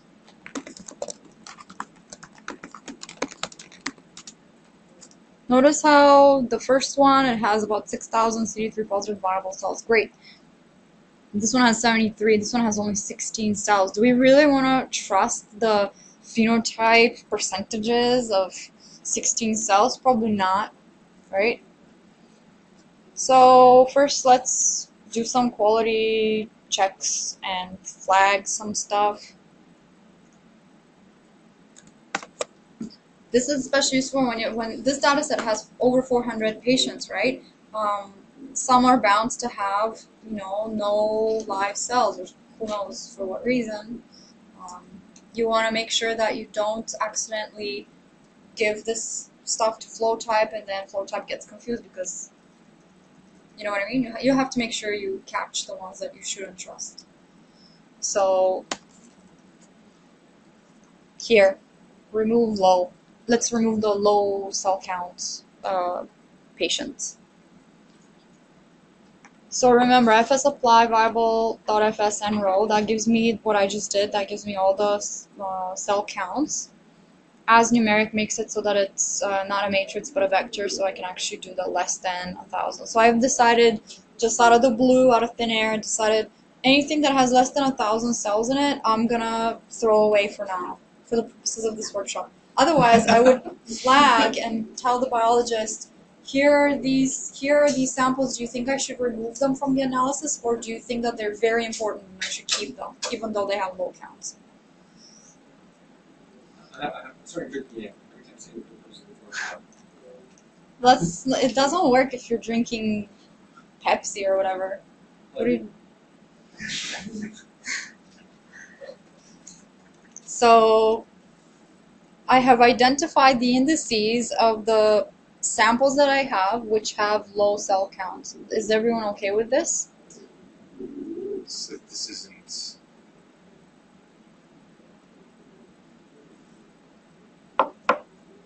This isn't. This is a Hmm? This isn't a function. This is a. A variable. It's a variable. Yeah. Yep. It's a which, you know, Yep. which. You can even print it out and see what it says.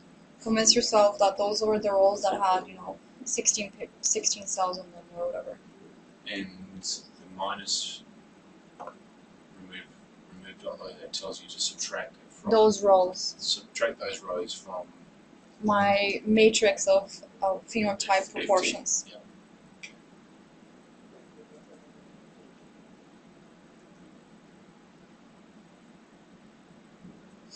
So here, uh, I now because I have removed those, I should also remove those same indices from the survival times we had. Remember, the survival times were the days that the patient survived. Um, I'm just gonna, just in case I decide to uh, go back on my removal of anything less than a thousand. Let, let's say that I run this and then I'm like, "Hmm, maybe, maybe I could add a few more of these, maybe 500. I'm just gonna keep track of this variable. This is just for my own purposes. I want to keep track of this variable before I remove the information.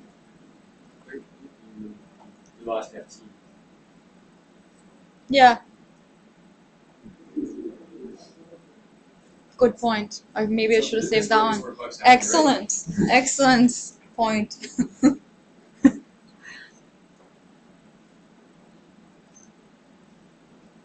now when you when you look at the values that are saved in survival I'm actually not even gonna bother with, with looking at it. You guys look at the values saved in survival. So just type survival, enter in your console, look at the values.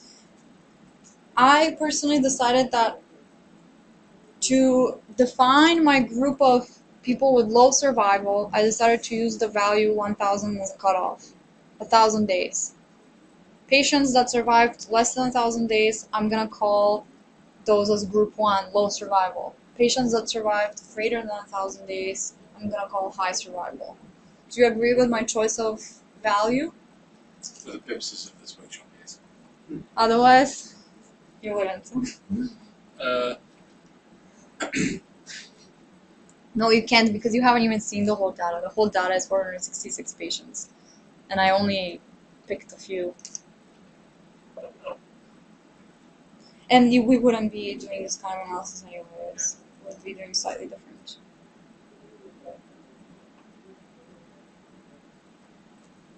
For illustration purposes, um, typically you might have, you know, a group of patients that has a disease and a group of patients that don't have the disease. So those would kind of define your group one and group two, right? So otherwise, you know, whenever you you are faced with continuous variable, you need to do Something else. the fancy way of saying is that you have to use the receiver or operator curve, and the real way of doing it is you just bunch along and try and try it lots of different cutoffs and choose the one you like. Yep.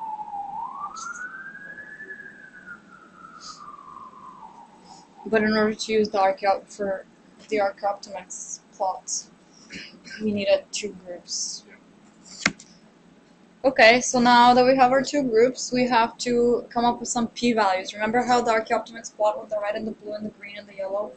Those colors are based somehow on, on a p-value or some kind of statistical significance estimate. So here's one very straightforward example of how to calculate a p-value just to give it some kind of visualization property. In R, just I got it. Hi. okay, that was cool. That was weird. That was all when. And that was related to OSCR for, I'm not sure why. Okay. Cool. I love, I I love how they, they looked around the. Uh, and they're like, no, no, no. no, it's a little creepy. Yeah.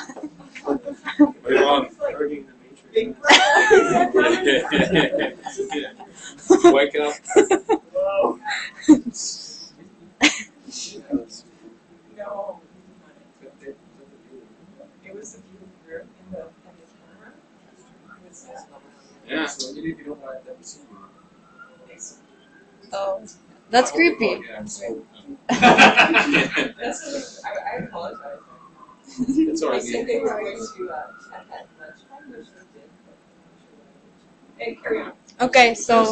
That was just the NSA. Uh, so we have to define a p-value. Here's what one way to define a p-value. One p-value. Um, a t-test of what does this have? ft. That's the matrix of all of our proportions or phenotypes.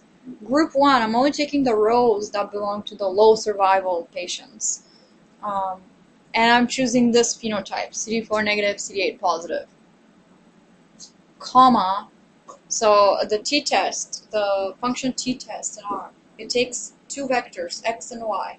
And x has the numbers from one group, y has the numbers from another group, and the t-test tells you, are these two different groups or are they kind of the same? That's pretty much what it's what it's doing.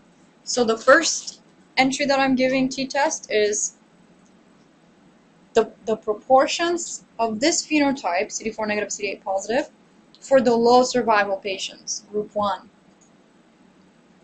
The second thing that I'm giving you, the second set of numbers, are the proportions of CD4 negative, CD8 positive cells in the high survival group. I'll give you just a moment to play around with that and see what the t-test give returns and see that when you take the p-value, p dot value attribute of it, it actually gives you the p-value.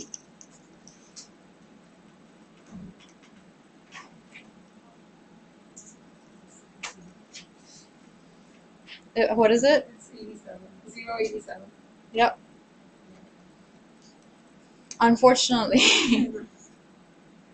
here today we're we're not gonna see anything particularly exciting because we have very few patients and very non-exciting colors. So, dollar sign p dot value is what returns. and The p-value. Tells you that it's going to return a p value. Yeah, you can delete that, run the thing again, and then see what it gives you then. You can see that p- the, the t-test function, it returns some things, including a p-value. It also returns some other things. I'm only interested in the p-value, but you guys should totally check out what, what how that that works. What is it, um, what does it mean with the first line here, that one dot p val? When it returns a error message, so that out. that means that you mistyped one of these things. Something specifically is for like CPA confident.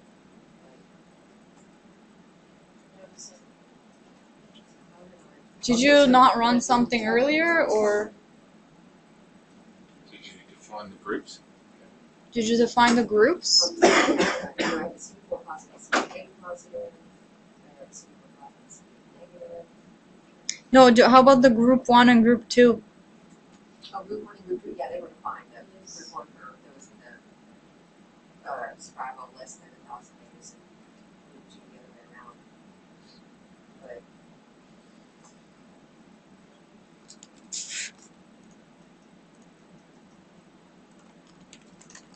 But Oops. Is that what your group one and group two look like? Are those the exact values if you print them out in your console? Like this? Yeah, I got a two, three, four, eleven, thirteen, fifteen, sixteen group one. And then two has four, five, six, seven, eight, nine, ten. Yeah? And FT looks like this. Bunch of numbers. What if you do n row FT? At twelve. It's because you ran your uh, the command that minuses the low uh, remove low. You ran it twice, so you removed a few extra than you wanted to. Your your FT, yeah. So you will, you're gonna have to rerun that, uh, where you define what FT is to begin with. Very good troubleshooting. Oh, yeah.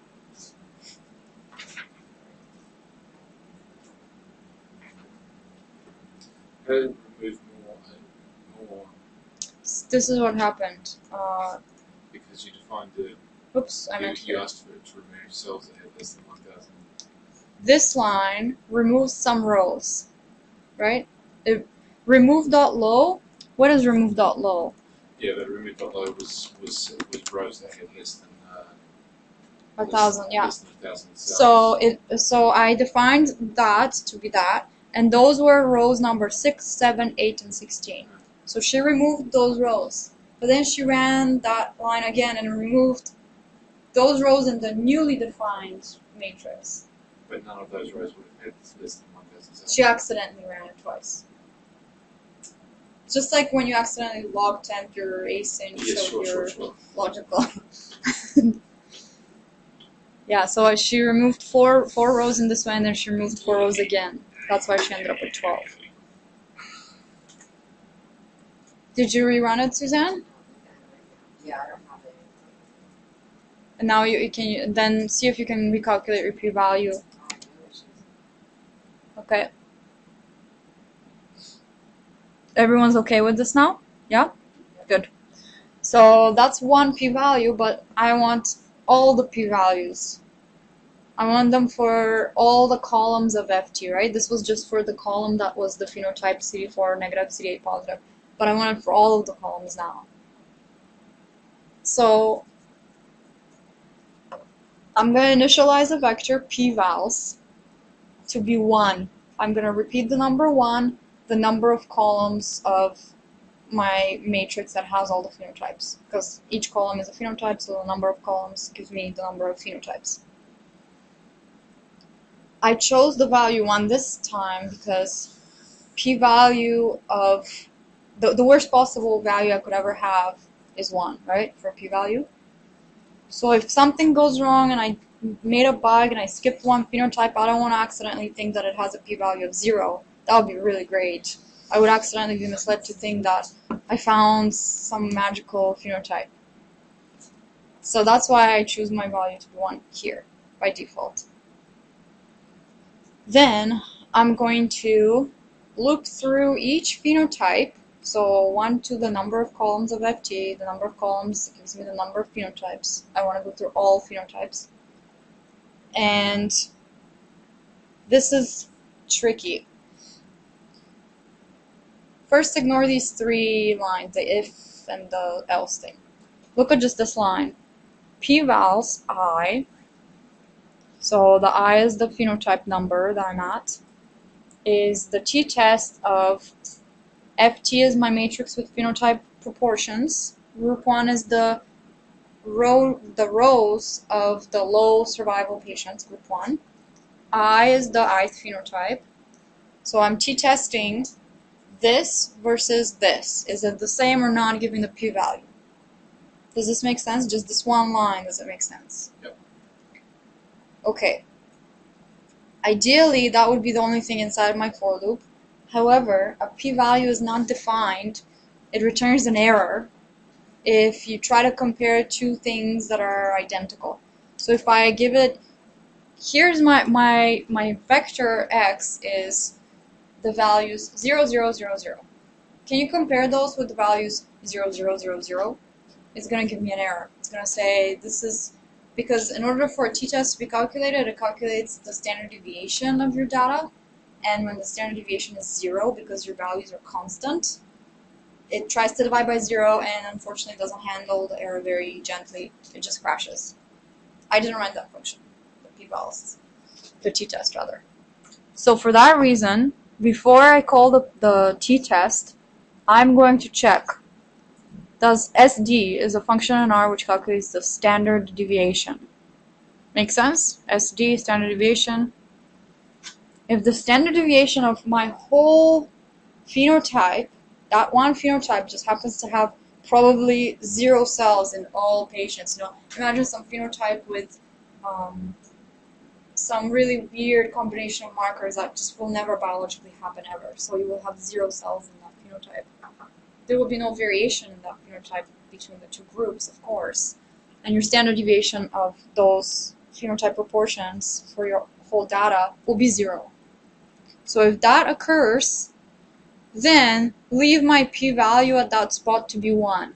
Because I want to say the p-value of this phenotype is 1. 1 is the worst possible p-value you can have. So this one is definitely a bad phenotype to differentiate the two groups.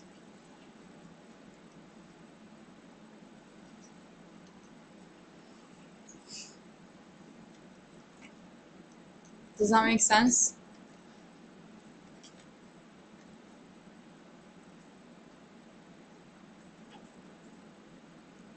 What you would have done if I hadn't told you this is you would have tried to maybe do the just this one line that has the integral part of the, the for loop, the p-vals i equals t-test, blah, blah, blah. And then you would have run this, you know, being all excited that it's going to do the right thing, then it's going to suddenly tell you error, something constant values undefined. And then you would have had to spend some time to reading through the help for the t.test function, which is what I did. You know, this is what I, I actually do. I don't know these things either the first time I do them. Um, then I read through the help and then I realized, oh, okay, this must be what's happening. There's no variation, so it's, you know, it can't divide by zero, so it's giving me an error. So I better make sure that I I don't ask it to do that for, for values where an error is going to occur. So I'm going to try to catch my error scenario and do something meaningful with it. So that's why this is a little bit of a complicated for loop because of that if statement. Next, I want to make sure again that my p-value so I don't accidentally, you know, forget which phenotype corresponds to which p-value, and I don't want to know like the first phenotype is CD4 or whatever. I, I'm gonna just use the names. So I'm naming the p-values to have the same names as the col names of FT, which is the phenotypes. Remember, the columns of FT are the phenotypes. And then you can print out p-values and see you have your p-values, and each p-value is associated with a phenotype. Does everybody have that? Everybody has their p-values? Yours might be slightly different because of your slightly different gating or also you know we used the pooled frame for some things and yours was random so. Okay. We have our p-values right? Now the next hard thing our RchyOptimyx this is a lot of information for a RchyOptimyx. So if you don't fully comprehend everything, don't worry because it's supposed to be simplified in the next upcoming version. Um, some of this, these things will be sort of automatically generated by default for you. So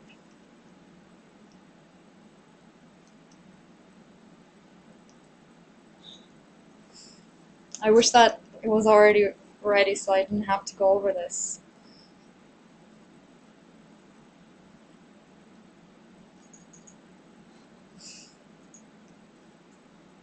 So RchyOptimyx takes in some variables that you must specify and it crashes if you don't. So you have to do it exactly as I have done it here. The first uh, variable that it requests. You know how we have all these phenotypes? They're like CD4 minus, CD8 minus. That was the first one I think we had, and then we had CD4 minus, CD8 plus, Ki67, blah blah blah. Um, this variable signs is actually a way to encode where, where do we have the, the minuses and the pluses in this phenotype. We have these three markers, and we need a way to tell the computer which phenotype are we looking at. Is it the we have our three markers, they're always in the same order. Is it the minus minus plus phenotype we're looking at? Is it the plus minus plus phenotype we're looking at? What phenotype? The way that uh, this was programmed was if you have a minus, we use the value 0 to encode that. If you are not using that marker in this phenotype, we have the value 0 to uh, 1 to encode that. If you are plus, we use the number 2. So the phenotype CD4 minus CD8 minus is going to be 0, 0, 1. 0 meaning CD4 is the negative, that's the first marker. CD8 is negative, another 0. 1 means Ki67 is neutral. We're not using it in this phenotype. A little too much, I know. It's, it's how it was programmed. Unfortunately, this version of RchyOptimyx requires you to specify this matrix. It doesn't automatically generate it for you. Um, and this is how it's generated, and it's always the same. Uh, this 3 here is the number of markers that you have, so when you're doing this at home, just look at the uh, help file on RchyOptimyx and follow the example word for word, and just change your information, the number of markers that you have and you annotate it again just to keep track of things, make sure they're consistent. The row names are just the phenotypes, and the column names are this is our first marker, second marker, third marker. Let's move on. I'm not even going to ask you if you understood that because it doesn't matter. It's something you must supply, and you just can copy and paste it without attempting to have any deep understanding about it. That's the first thing you must apply. Then you must apply, this is the important part, some kind of statistical measure which will tell RchyOptimyx how to go about coloring those plots and making those arrow thicknesses. We have we have already co uh, computed our p-values, right? That's what we're going to use for significance. You know how the lower the p-value is, the better? But you know, when you're coloring things, you want it like the higher the number is, the higher the score is, you know? So instead of going lower by p-value, I want to go high. So taking the negative log 10 of the p-value does that. Doesn't have to be the negative log 10. It could be, um, you could define it however you want, but this, just use this. It's, it's a standard way. So for example, if your p-value is 0.01, the log 10 of that is negative 2. And that's why I put the negative so that now it's 2. Does that make sense?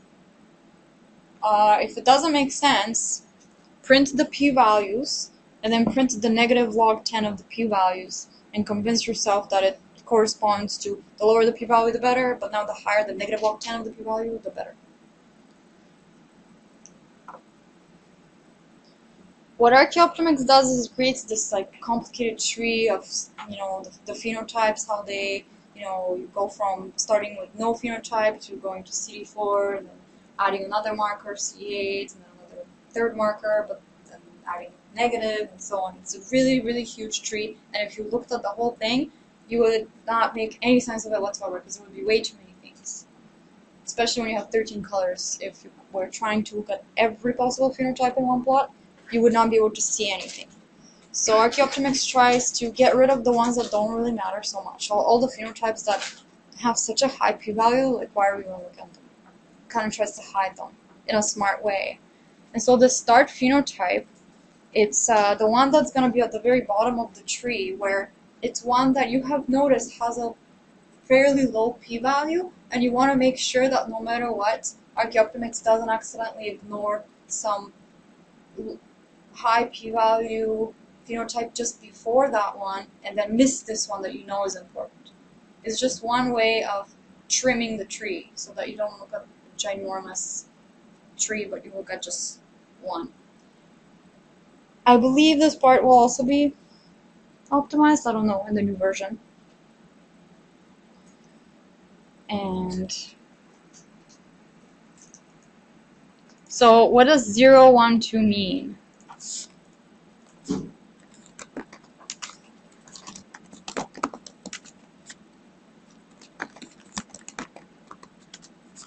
You can. Uh, there's a function in R called sort, and it sorts things for you.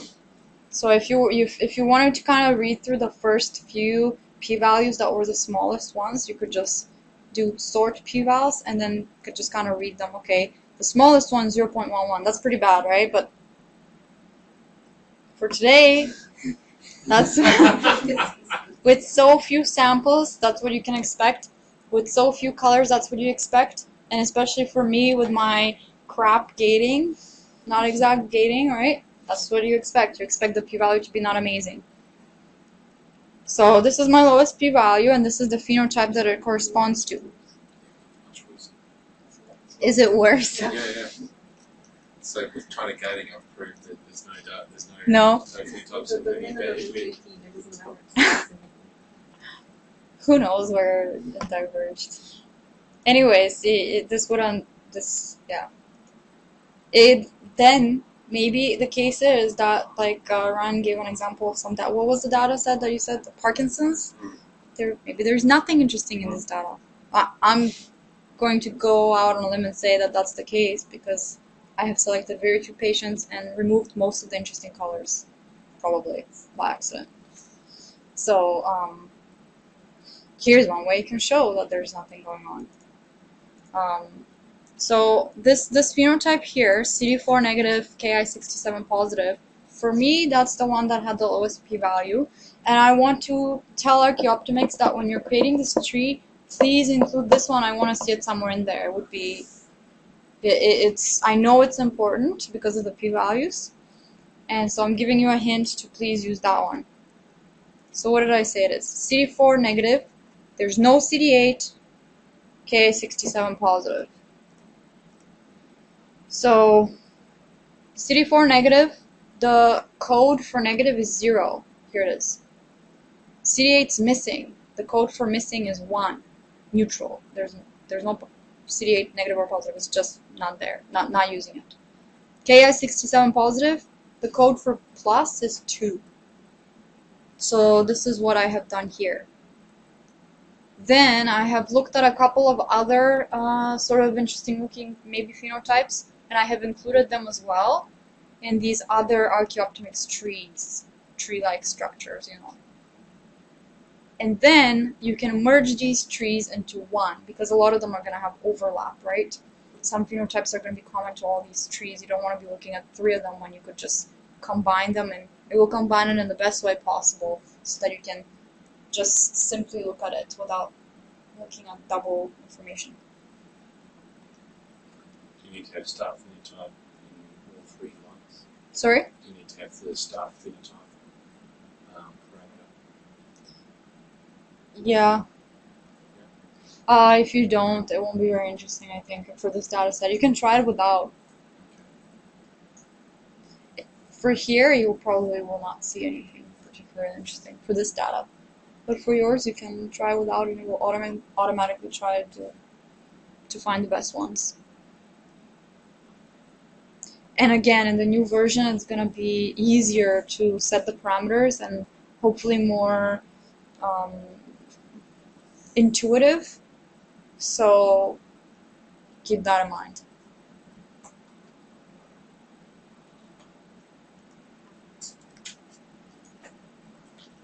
Now the the way to uh, save your or view and save your plot. So so here's uh, Stephen what you were asking about how to save a, an image in R. Uh, you can do R has this function PDF, which basically tells the computer to start creating a PDF document. It doesn't actually open it up and plot it for you. Just the computer is plotting it on the inside and you give it the file name that you wanted to write the information to, and then you create your plot. So plot merged is gonna know that this merged thing is some kind of RchyOptimyx object, and it's going to use the plot function supplied by the RchyOptimyx package. It's gonna know how to plot it. But in order for for for it to use the, the, the coloring, you supply the negative log 10 p values. It's going to print them as a color bar and use them to color the plot. Now, to tell R that you're done plotting and it should finish writing the PDF file and not wait for another plot, you do dev.off, device off. Turn off the PDF device, whatever little thing the computer is using on the inside to create this PDF document, you can tell it that we're done plotting. Now look at where I have saved it. And the virtual box, go to that folder and open up your, you can open up the file. Did you see what I did? I went to the folder in the virtual box. I went to, you know, documents, workshop, and right here is where you should see a PDF file. Does everybody have a PDF file? I chose my starting phenotypes, you know, the 0, 1, 2, 0, 0, 2, whatever. Does yours look different? Oh, okay, good.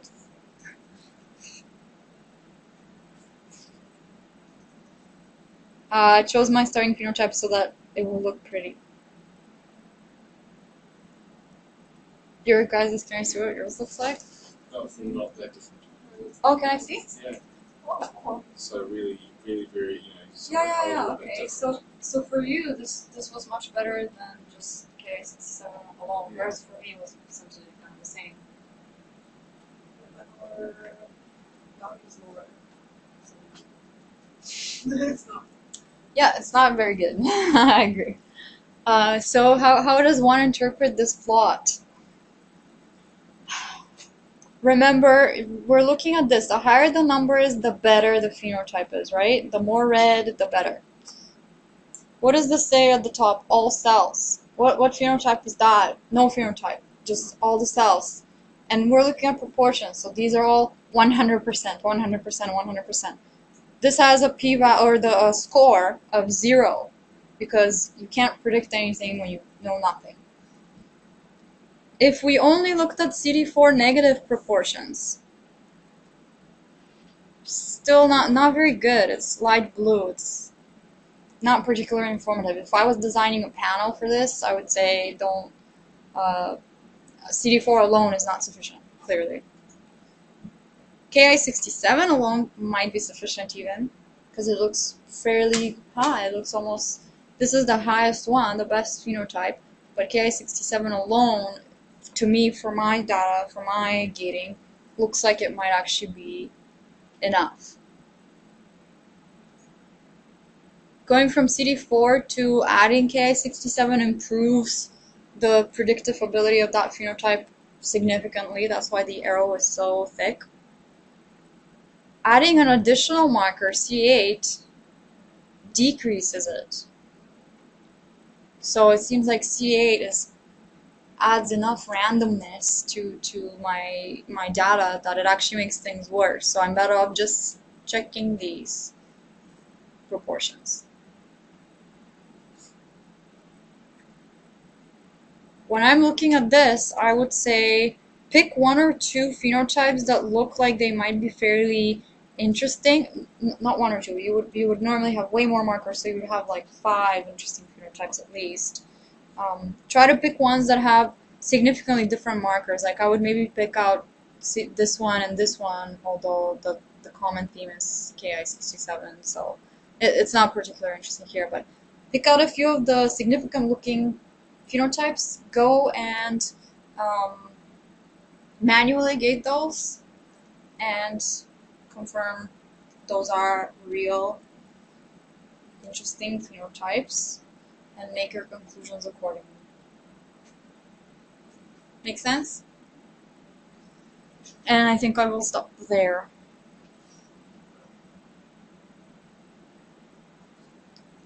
Oh, that's Um. How does one output the p values? Sorry, the uh, By looking at them, the phenotypes. oh, so they've already they've already you've already, you've already got those. So what archaeopterymetry just done is just hier- hierarchically organized and based on values. Yes. I forgot to mention one other thing that I did here is I actually uh, saved my results as an Oh. Excel spreadsheet in case you were gonna do something else with it, and you can you can just do a question mark write dot CSV on your own and see what what happened there, and you can also see it in the virtual uh, machine if you open the folder, the same place where that archi.pdf file was saved, results.csv comma separated value file. When you open that up, make sure that it's separated by comma. You can, you know, share your or do whatever else you want to do with these numbers later uh, using Excel. You can plot them, whatever you want to do. Could you do that again? Do this, uh, so you export. So FT was remember FT is my right after the dev.off function. I have a few more lines of code. Um, FT was my matrix that had all my phenotype percentages. I used the rbind function to add another row to that matrix, which also will store the p-values in there. I don't want to lose those. And then basically write.csv, you give it a matrix. I called the matrix results and then you put comma, file equals, and you just give it a path, the, an exact file name, including the full path where you want the CSV to be written. Okay, yes.